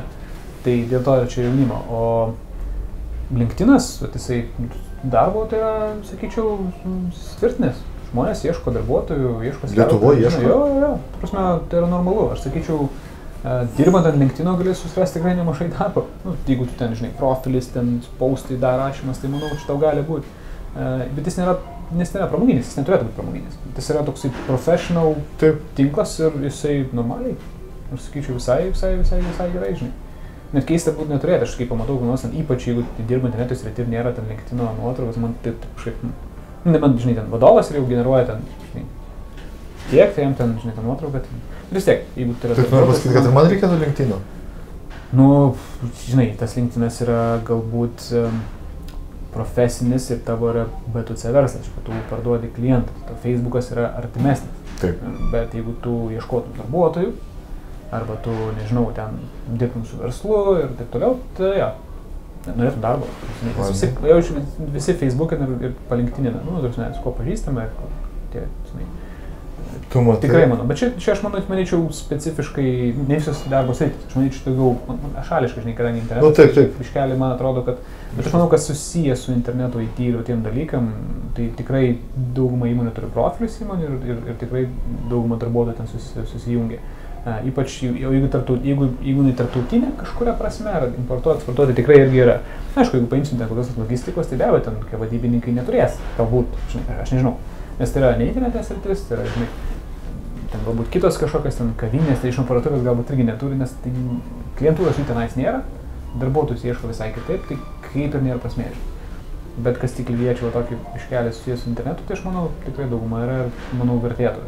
O šiaip tai tik socialiniam tinkle būti tik tam reikia, jeigu ten bus aktyvus, tai tau yra išnaudos.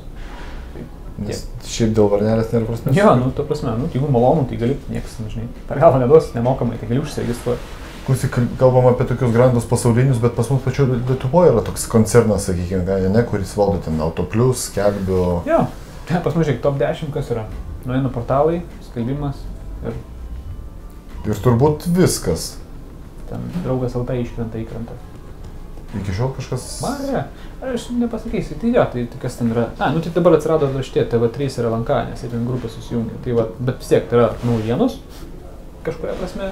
Tai Delfi 15, Lietuvos rytas, Alfa. Alfa, tai TV3 jaučiu play su ta nuomonė visa, talanka, skelbiu, Auto Plus. Autopliusas ir, žinai. CV bankas. Nu, jisai būna, jisai jo banguoja labai stipriai, bet jo.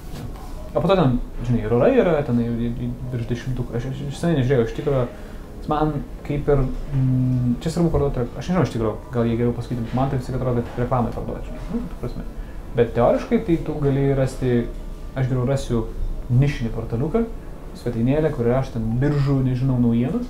Bet ten biržiečiai mano yra klientai, aš ten eisiu, kamonai tai dėl. Nu, Tu prasme- tik norėjau ir paklausti. Kosminės kainos. Aišku, bet e, aš kažkas man pasakė ir galbūt sutinku, kad, e, sakykime, toks kaip Delfi gali būti prestižo reikalas. Kaip TV reklama, ne, nu, tu, tu prasme, u, per teliką rodo, nu, rodo reklamą, nes visi žino, kad tai yra brangu. Nu, ir taip toliau. Tai gali būti dėl to, kaip brandingas. Bet Žiūrėti. vėlgi, tu, žinai, Tu žiūri teleką? nelabai. Pažįsti žmonės, kurie dabar žiūri teleką? Nepasakyčiau, kad adekvatus ar neadekvatus Nu, kaip, žmonės. kaip žiūrėjimas, aš žinias pažiūriu, žinai, karts nuo karto, bet tiesiog. Uh, ir jo, bet mano kanalai yra Discovery, ten History Channel, nu, ta prasme, ten kur žiūri kažkas, nu, kaž, kažką tokio, jeigu yra laiko, čia, nu, žinai, fonui kažką tai tokio. Uh, kitų ten, žinai, filmų, dar kažko, tai ten kažkokių Laidų. kažkokių, Prasme, man įsi- įsijungia ir, nu, įsijungia galvoja, nu, ne, aš tai turėtų būti gerai, galvoju, ne, vis dėlto prieš šešis metus buvo tas. Nu, Aš norėjau pasakyti, tas pats per tą. Bet, čia natūralu, čia pasakė vienas produceris, um, žinomas. Um, tai, nu, tai yra paklausos pasiūlos reikalas. Nu, tai kam investuoti milijoną, jeigu žiūri, kai aš investuoju 50. Nu, tai, yra, tai yra verslas, o tai yra neapsimoka. Nu, tu darytum auksinės lentynas. Ne, nepirks daugiau negu auksinės Bet kodėl neevoliucionuoja televizija? Kas žiūri? Nu, sakykime, iš už, užsienyje evoliucionuoja, dabar viskas on the go. Kabeliniai kanalai dabar. Šiaip, e, kas liečia, man atrodo, tėvo, tai aš neturiu teliko, bet vis dauguma giria, kad ten visus dalykus, ten tą HD, ten tą paketą, ten šis, prasme, tai toje vietoje vasinavo, bet kas liečia laidų turinį ir jų kokybę, tai tiesiog, e, nu, auditorijai taikoma. Bet, blema, ta auditorija iš vis neauga. Tai, ta prasme, nu, kažkuria prasme, jo, nu. Tai, Prieš dešimt metų Rex kažkaip ten skelbimo militarius reklamavo ir iki šiol turbūt reklamuoja taip Na, nu, pat. tai čia produkto sėkmė, bet, bet kas liečia, žinai, uh, laidas, na tai, nu, nu, tai jeigu žmonėms to reikia, jeigu ten yra laida, nežinau, ten 24 valandos, ar ten kas rūta, nežinau, ten kur žmonės kalbasi apie tai, tai jeigu važiuoja, nu, tai tu darai tiesiog. Tai pa, paklausa diktuoja sąlygas, ne pasiūla. Nu jo, nu, jeigu, ne- nu, ta prasme, taip, taip sakysiu, jeigu nežiūrėt tos laidos, jos nerodytų garantuotai. Nors gali paleisti, nepatinka žmonėms. Tai jie leidžia, buvo tas, buvo man patikęs projektas, tas tu gali šokti, žinai, kur buvo labai kokybiškai pirmas. Niekas nežiūrėjo, ten, žinai, žmonėms tiem reikia, žinai, ten kažkokių tai komisijos, e, žinai, vaidmenų, kurie ten varo ant kažko, tai Taip, nevaro. Konfliktų, Am, purvo biški. Kažkiek jo to, žinai, ten parodyti tą anačią. Tai, nu, ta prasme, tai yra pramoga ir, ir, ir tiesiog mūsų pramogos toks skonio reikalas. Ir, ir, ir tų laidų atsiranda, negali sakyti. Man, pavyzdžiui, labai džiugu, kad atsirado Justino, ta vat, gero vakaro šou vedama, to, to sakykime, formato laida, talk show, ne, e, kur užsienį, žinai, milijonas tų valstybių turi savo formato, nu, tas pats formatas tik adaptuotas savaip, tai labai gerai ir jinai, kad tai gerai sekėsi, taip pat įtapino. Ne, ne, nu, prasme, tai yra kitokio principo, kitokio lygio, turiu minį YouTube laisvės stratas. jo, jo, bet, ta prasme, tai vis tiek, aš vadinu tai laida, nu, kurint transliuojama, tai čia įrenginio galbūt klausimas. žinai. Tai bet nu, jos atsiranda ir paklausa didėja. Tai jos ir, manau, mums reikėjo, nes, pavyzdžiui, ten, žinai, talk show tų Amerikai, ten šiam septynių metų tos tradicijos. Tai, Taip, žinai, taip, dabar tai yra jo, bet tada kažkada tai atėjo žmonės ir kažkur metu keitė kažkokį standartą. Tai mes laisvi 20 metų, 25, nu, tarsi, tai čia yra netiek daug, kol išsikuops, žinai, visas dalykas, kur žmonės pakeliaus, pamatys, pasikeis mąstymas, kiti dalykai, tai užtrunka. Ir, žinai, Vilniui, manau, kaip žinomumas, kaip kaimuose ir taip toliau, ir kituose miesteliuose, kai žmonės žiūri, kas, žinai, jo, galbūt daug draugai ten dirba, užsiemė, keliauja ir panašiai, žinai. Bet uh, ilgainiui keičiasi ir tas, nu, prasme, nu, iš esmės laisvės TV ir tokie projektai, kurie yra kokybiški, jie yra įrodymas, jie, nu, bum ir lieka. Ne tai, kad, žinai, po mėnesius uždarė. Jis daro ir toliau darys, ir tai auga, taip, ten nedaug, pabiški išėtų, bet žinai, Bet auga. praeis keturi metai, tokių gal bus trys laidos, žinai.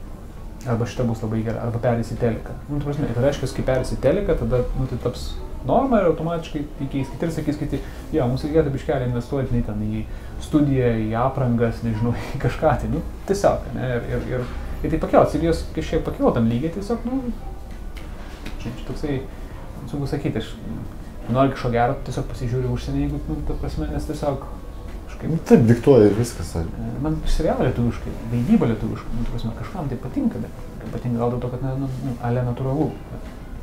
Aš, aš, kad, nu, aš negaliu sakyti, kad aš, nu, aš kuriu video, jau esu skūręs turbūt virš 400. Ir ką aš galiu, pavyzdžiui, pastebėti, kodėl, pavyzdžiui, televizijoje yra taip, kaip tu sakai, natūralu, bet iš kitos pusės labai nenatūralu. Jo, Muzik, o pastebėk, labai trūksta muzikos, tai yra tiesiog kažkokių tai garsų. Dažniausiai būna arba tyla, arba girdisi tas visas.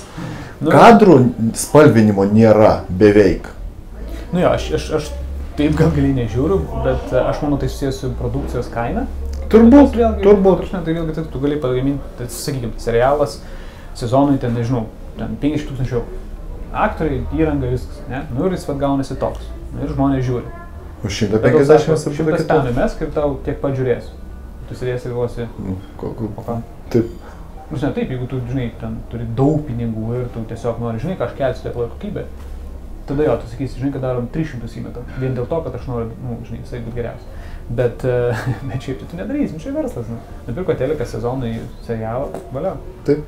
Ir viskas, žiūri, žiūri, pasteisino sezoną štampuoja, ta prasme. Aš manau, kad tiesiog kartais, žinai, yra daug žmonių, kurie, kuriems nepatinka tas, žinai, būdinis ar kažkoks kitas dalykas, kur ten per daug, kuriems tiesiog faina, kai, va, lietuviškai kalbant žmonės perdėtai vaidina, ta prasme, nesau, kad žinai, visi aktoriai vaidina, bet čia galbūt tas teatro pamokos. Aš, nežinau, bet man tiesiog kartais atrodo, žiūri ir keisto. Taip, taip, tarsi teatras. Galbūt kampus neparenka, galbūt Nežinau, per ne- daug vienam. Aš, aš tikrai neįsivaizduoju, nes kartais atrodo, pavyzdžių, nu, pavyzdžių yra kaip ir...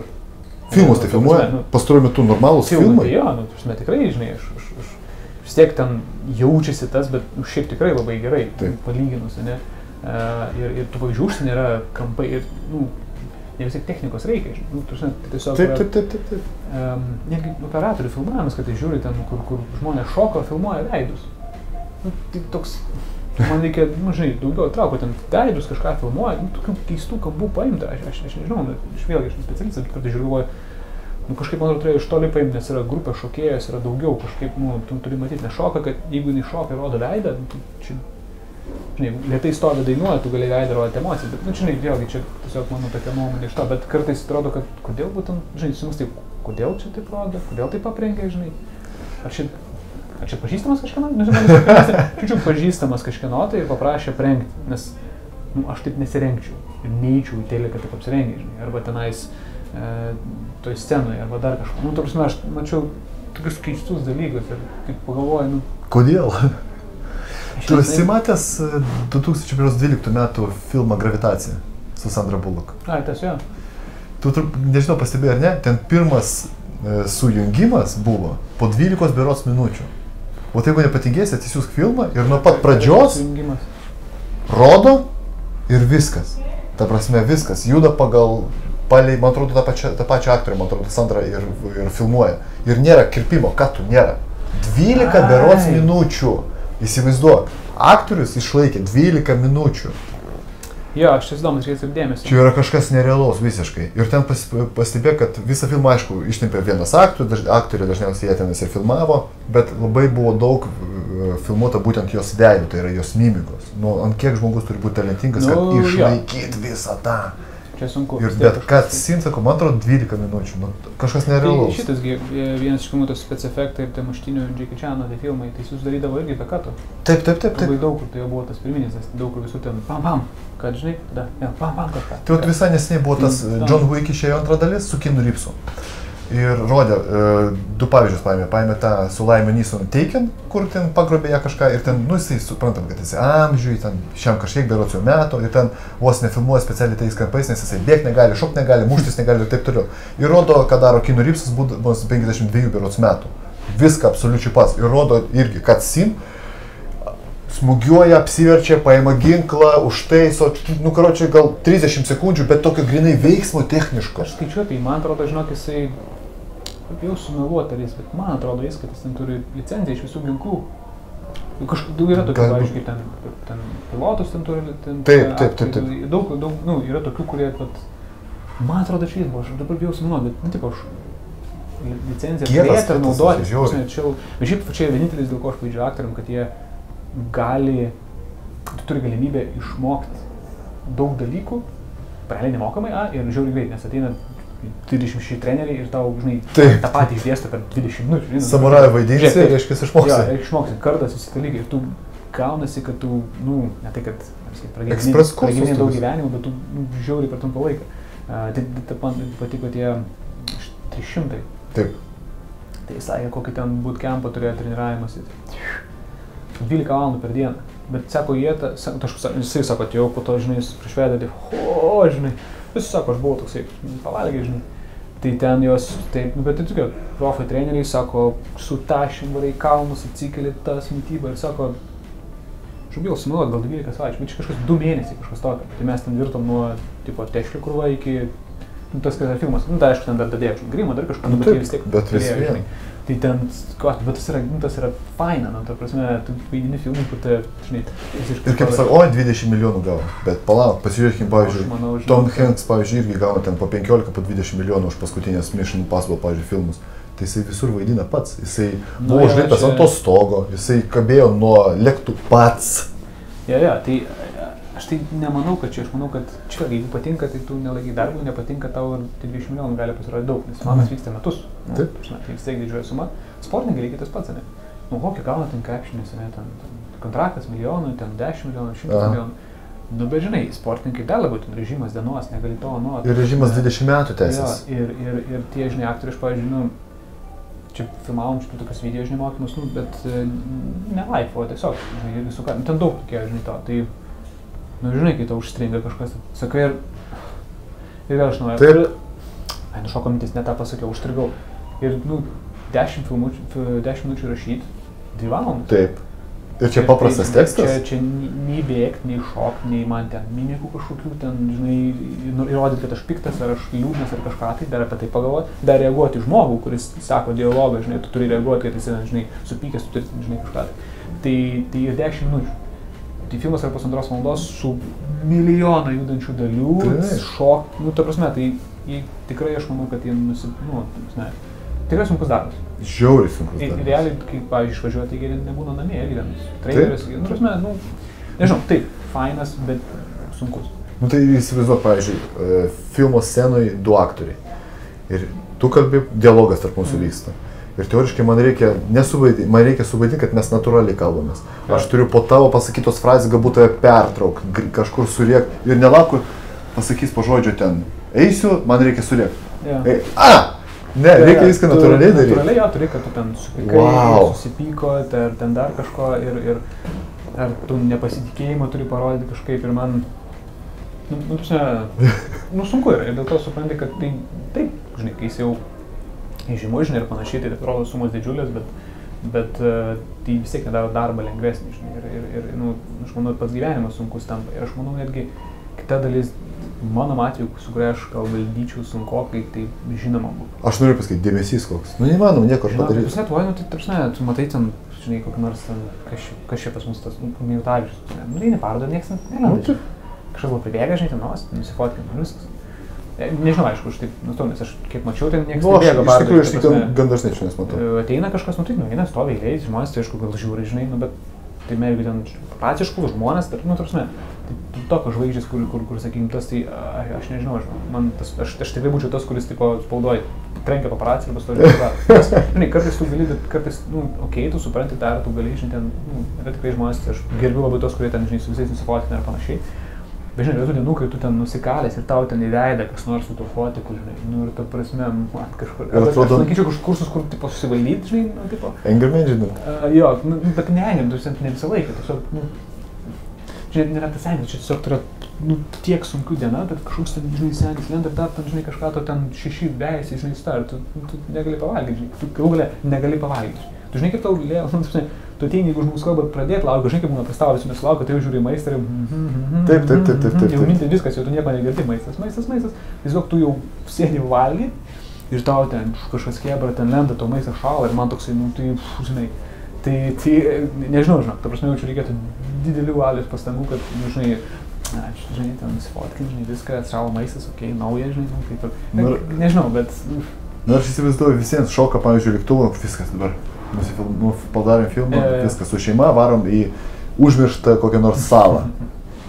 Su Taip. iPhone'ais visiems fotkinam, pavyzdžiui. jo, visų kažkur tenais, Ir aš nežinau, čia, čia galbūt, nežinau kaip jie mąsto, bet matai, ne visiems ir gaunasi, žinai, ten narkotikai, visi dalykai, tai, tai, nu, prasme, kaip čia sakyti, kažkaip į tai įsitraukiam, žinai, gal, gal dėmesys, gal stresas, nu kažkas tai veikia, nes atrodo, žinai, turi viską, tai, nu, tipo, aš žinau, kad fan išbandyti ir kad visi daro aplinkui ten O pramogų kaip pasaulį. užsidaro žmonės, Bill Murray, kaip, pavyzdžiui, užsidaręs, nebevaidina dabar, jisai ten, pavyzdžiui, golfą pasinėręs. Yra žmonių, kurie iš vis specialiai. Prasme, Aš manau, kad nuo to, aš, aš manau, kad pavargsti. Pavargs? Aš Aišku, prasme, pavargs. nu, tai, tai, tai, aš dabar manau, kad yra tas, tas ta gražioji pusė, kad, nu, visi, o, žinai, tu žymus, tai Wow. pinigai ir, nu, aišku, ten, nežinau, nemokami dalykai, šventės kažkokie, nežinau, kažkas tokio. Bet ta kita pusė yra tas, žinai, nu, tu neišeisi, bet kaip aš, nu, žinai, tu galėjai dabar bare užlipti, kažką tu žinai, prisigėręs, žinai, na, kažką, žiūrėk, biškas kažkaip prisigėrė, seniai. Ir viskas. Ir tu būsi žymus, tai kitą dieną spauda, čia skambinė tą, tu pasakai tą, tu papaustinė tą, ką turėjau omeny, žinai, ir man jau, jau lietuva būna kažkas papaustinė, žinai, ir kažką gal netyčia. Gal, žinai, gal neis, gal draugelis iš jo. Nu, čia tas viskas. Taip, tau paimi telefoną, paprikolini, žinai, visą. Aišku, čia reikia neduoti, bet, bet kokiu atveju toks at- tiek perdėtas, kad tu pradžioje gal linksma, iš gal pribėgi iš kėlo, žinai. Tai metai, du, trys, žinai, keturi, jau tau, žinai, keičiasi, žinai, nu jaunas vieną, ten kem, pem, jau tu... nu, Jo mergos nebenori atsibodo, kurios kabinasi. Nu, visi, žinai, tau tiesiog, tu jau gal nebenori, žinai, gal tau jau, nu, visur to dėmesio sočiai, gal nori tiesiog tyliai nueiti, žinai, kažkur, bet neišeina. Ir tada tas neišeina vieną kartą, antrą kartą, vis... Tau tas, žinai, kyla, kyla ir tu, žinai, žinai, galbūt, galbūt dėl to vis pradeda gerti ar narkotiką ar panašiai. Gali nes būt. Tiesiog, nu, tu, tu nežinai kaip, tu nežinai kaip pabėgti namie sėdėti. Salos, bet irgi, nu, tu milijonais filmuojiesi, sąskaitoj, jo, jo, Bet filmuojasi ir, turbūt, bet filmuojasi kažkur negali išvažiuoti. Turi būti tam mieste, tu turi vaikščioti ir, nu, tada, žinai, tada gaunasi, kad tu esi nors daug turi, bet turi slėptis, kad nueiti pardą. Arba į ten, žinai, ledų nusipirkti. Ir va čia va tas yra įdomus, ant kiek tas šlovė ir pinigai, kur tu galvo žiūri kokį žmogų. Ne, sėdi ant soliuko savo, ledus valgo, žinai, o nukrito ledai man kelio. Niekas, niekam neįdomu. žinai. Ir tada vat, galbūt, žinai, toks susiranda, kad gal visai, nu, Būtų cool. kaip prarandi, tai ar sužinai, kad, kas, kas yra brangiausia, pradedi vertinti, kaip prarandi kažką. Tai, tai, tai va šitą vietą aš susimastau, žinai, kas, kaip, kaip, koks tas jausmas, žinai, koks tas jausmas būti ir, ir nežinau iki galo, ar, ar, ar kaip su juos tvarkyti. Em, Nežinau, gal teisingai, gal pasinerti tokią veiklą. Nu, aišku, nedaryti nesąmonę, kad nerašytų gal tas stresas. Bet sunku turbūt. Na, vis sunku, žinau, ten, čia mes gal nežinom, bet ten yra, kai ten tok šau žiūriu, ten būna yra tokių laikraščių, kurie šiaip, nu, tipo, tai, ai, kaip sakote, kokia keista nauja, sako, kad aš miriau. Visoks laikraščių, bulvarinė, žinai, kaip būna ten, tipo, ton. Jis mirė, žinai, ten nuotrauka tavo.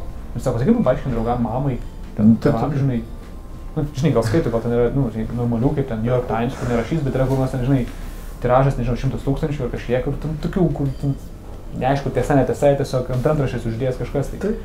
nu tai žinai, vieną, du kartus, bet jeigu ten šimtai kokią nors ten nueikį, tai tau jau, nu jau, žinai, skambina pastoviai, žinai, ten, tai tu, žinai, avariją patekai, ne, aš sakiau, aš darbė, žinai, nu, tokių, tokių, va, ir aš manau, visas tas dalykas tame lygyje gali veikti labai stipriai psichologiškai.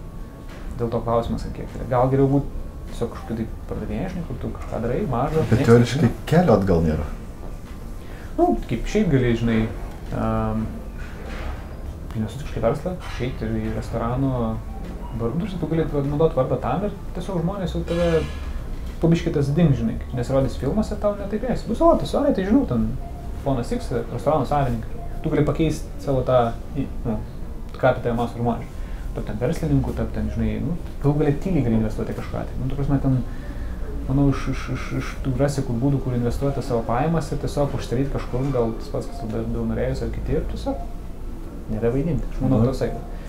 Kitas variantas, jeigu tau patinka žiūrėti. Tai. Bet, nu, sakančiai, ne, neaišku bus, kaip, nu, neaišku, sunku pamatuoti, ką jaučia tas žmogus, žinai. Bet, e, bet būtų įdomu. Po to mums įdomu būtų pasikalbėti su jais, ne kad, tipo, oh, nutrauk, bet klausyk, kad... Bet kaip turbūt- tu- Kaip tu, hen, kaip tu tą val, valdai, žinai, nu, pribėga. Tu nenuotaiko, nu, brašai, nu, tu sukandai, žinai, bet tai pas mus, sakau, vienas, du, žinai. kuva ten, čkla, ten spauda, mirga, nu ten, o dieve mano, kaip tas, aš nežinau. Nu, man toks kaip, kad jis, kas tas per žmogus, žinai, ten tie, kurie, nu, bet ką paims, predas pitas, nu, Įdomu, kad jisai, e, žinot, kad ką jisai iš tikrųjų norėtų pasakyti. Jo, ką tik- jo, jo, paruošęs tipo, atsakymą, o žinai, tikrą, ką jis viduje jaučia. Teisingai, tu niekada negali Niekada. tu ant tiek turi filtruoti, įsivaizduoji? Aš man, va, tokie dalykai, tokie atrodo smulkmenos, nu, tipo, kaip ką sakyti. Nu taip, ką sakyti, galvoti, nes tu gali eiti, tu gali netyčia praeis kažkas, filmus nematys, tu kažką pasakysi, pasiūsi, viskas. Arba kokį juokelį ten apie gėjus, apie nu, bet rasizmą, suskelsi viskas. Ir, Skandalas. didžiulis. ir tu gali netyčia, nu, ta prasme, galbūt netyčia, gal ten turėjo omeny, bet tai jau bus nebesvarbu, žinai. Tau, ta, ta, ta, Iš konteksto ištrauks. Jo, aišku, tai vat tas dalykas, tai man toks yra, nu, nežinau, šis to būtų sunkiausia, nes, nu, žinai, kažką. Ne, ne, mama, jo, jo, jo, aš ten gėjus. Ir, žinai, nu, tipo, kokia nors ten, žinai. Mama skambina. Arba, jo, jo. Rūkai tu gėjus. Nu, ten, šiaip ko nors tokia, ten, lipau, kritau, buvau, nedariau, rūkiau, išgėriau, ar nesvarbu ką, mačiau, tu gali šiaip, žinai, su Hebra, tai, jo, jo, jo, aišku, aš ten, žinai, tą, žinai, nes visi žinos, kad tu juokauji. Arba niekam bus neįdomu, žinai, jeigu tai tiesa, bet ten išgirs rašys iš karto. Taip. Antraštė, tas ir tas rūko, ar geria, ar važiavo, ar griuvo, ar girtas važiavo, ar pasakė kažką, tai ar įžeidė ir, ir tu galvoji, aš net tą norėjau pasakyti, bet tada jau vėlų, nes jis įsuko ir, žinok, aš nežinau, man tai toks. Bet ką jo, ką, ką iš tikrųjų, jie, vat, nu, taip, prie lauk, žinai, kaip sako. Bet Nu, gerai, dabar mes- Bet gerai, kad yra dabar socialiniai tinklai, pavyzdžiui, tave apkaltina kažkuo, ten koks didelis laikraštis, tai socialinėse tinkluose gali paneigti arba bent jau savo nuomonę kitą pasakyti. Jo, Anksčiau tai viskas, tavęs klauso kiek žmonių. Na, tai ir toks kiek- dalykas, e, taip yra tiesa, bet aš manau, kad um, tie dalykai yra lieka pasąmonį. Ypa, ypač neįvykiai. Čia šimtu procentų. Pavyzdžiui, paimti ten politikai, ten senatorius, kiti, kur ten įsvėrė skandalą, o paneigė, bet nebesvarbu, mėnesį skandalą tą plovė jį, į tau, kai ateis balsuoti, tau gali būti išlikęs. Žinai ką, ką jis ten buvo padaręs, kažką buvo daręs, jo, prisimenu, kažką jis ten buvo pavogęs. O iš tikrųjų, nežinau, galbūt visi politikai vagys. Ir nebalsuoja. Na, žinai, čia toks labai jau specifinis scenarius, bet gali būti bet kam, žinai. Ir daug kas buvo įkliuvęs, manau, su aktoriais, kur ten nebevaidino, dingęs dėl kažkokių ten tam tikrų, žinai, niuansų ir taip toliau, bet po to paneig jo, bet, žinai, nu, manau, sunku, kad čia kai jau išėjo į tą į eterį, tai jau, jau, jau, jau, žinai, Jau viskas, jau. jau viskas, tai, tai, tai nežinau, žinai, bet um, dėl to, kad iš vienos pusės atrodo patrauklų tas, žinai, visas dalykas, bet kai sudėdė tos dalykus tokius gyvenimus, ko jie neturi, tai jo, žinai, pagalvoja, ar manyčiau vietomis, nežinau. Nu, žinai, Nu, laimė, laimė ne piniguose, Ne, laimė. ne, tai jo, jo, gali be to pasiekti, sakau, kažkokiam tai-. Žinai, savo mažam pasauliu, Tai va. ir tiek, Ką, Rokai, ačiū, kad atvykai. ne problemų. Tu klausai, apie ką kalbėsim. Ką žinau, aš sakau, ne, aš niekada nerašiau, apie ką kalbėsim. Dažniausiai būna šiek tiek paliečiau, iš, galbūt iš pat pradžių, sritį žmogaus, kurioje jisai dirba, Mm. arba kuo jisai verčiasi, ar gyvena, kuo. Ir pat, nu, šiaip, išsiritu. Ne, tai aš, aš tai nebijojau, kad mes net neturėtume kalbėti, aš tiesiog e, galvojau, ar nu, yra specifiška tema, žinai. Ne, nėra, žinai. Tai, žinai, tiesiog dėl to paklausiau.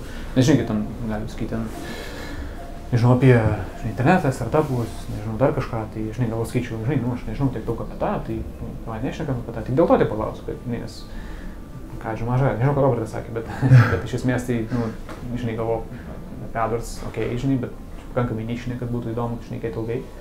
Dėl to paklausiu, ar dar kažkas, nes, nu, žinai, tiesiog pasakyti, kad ne, arba okei. Okay. Na, man tai visai žinai buvo. nu. Ne, nu, geriau, nes, nes tada, žinai, nesijauti, kad ten pasiruošti, nereikia ruoštis. Jo, kad turi būti, kad roto Nes tada, žinai, turėtų būti specialistų. prezentaciją ruoštis dabar. Kam aš pasakiau taip? Nes man tai buvo, kad nebūna, kad... Ar, ar nori pranešimą? Jo, gerai, darysiu. Ateina laikas. Kam aš pasakiau taip? Panašu, kad reikia ruoštis. Būna tokių, kad dar, dar su darbai sudėgai tą savaitę būtent, tu galvoji, oh, nukelti negaliu, žinai, nu, tada darai, žinai. Manau, po to būna aišku fain. Bet tas pirminė mintis, o jo, tik važiuoju dar į Kauną, pamiršau, mm, o dar pasiruošti, ai, ai, ai, ai, ai, žinai, toks būna. Bet, e, bet vis tiek fainai galiausiai būna ir vis tiek džiaugiesi, kad ten kažkur nuvarai kažką, pašnekėjai kažką padarai. Tai, žinai, o čia ruošti nereikia, tai tik pliusai, žinai. Nu, tai. Tas tipo.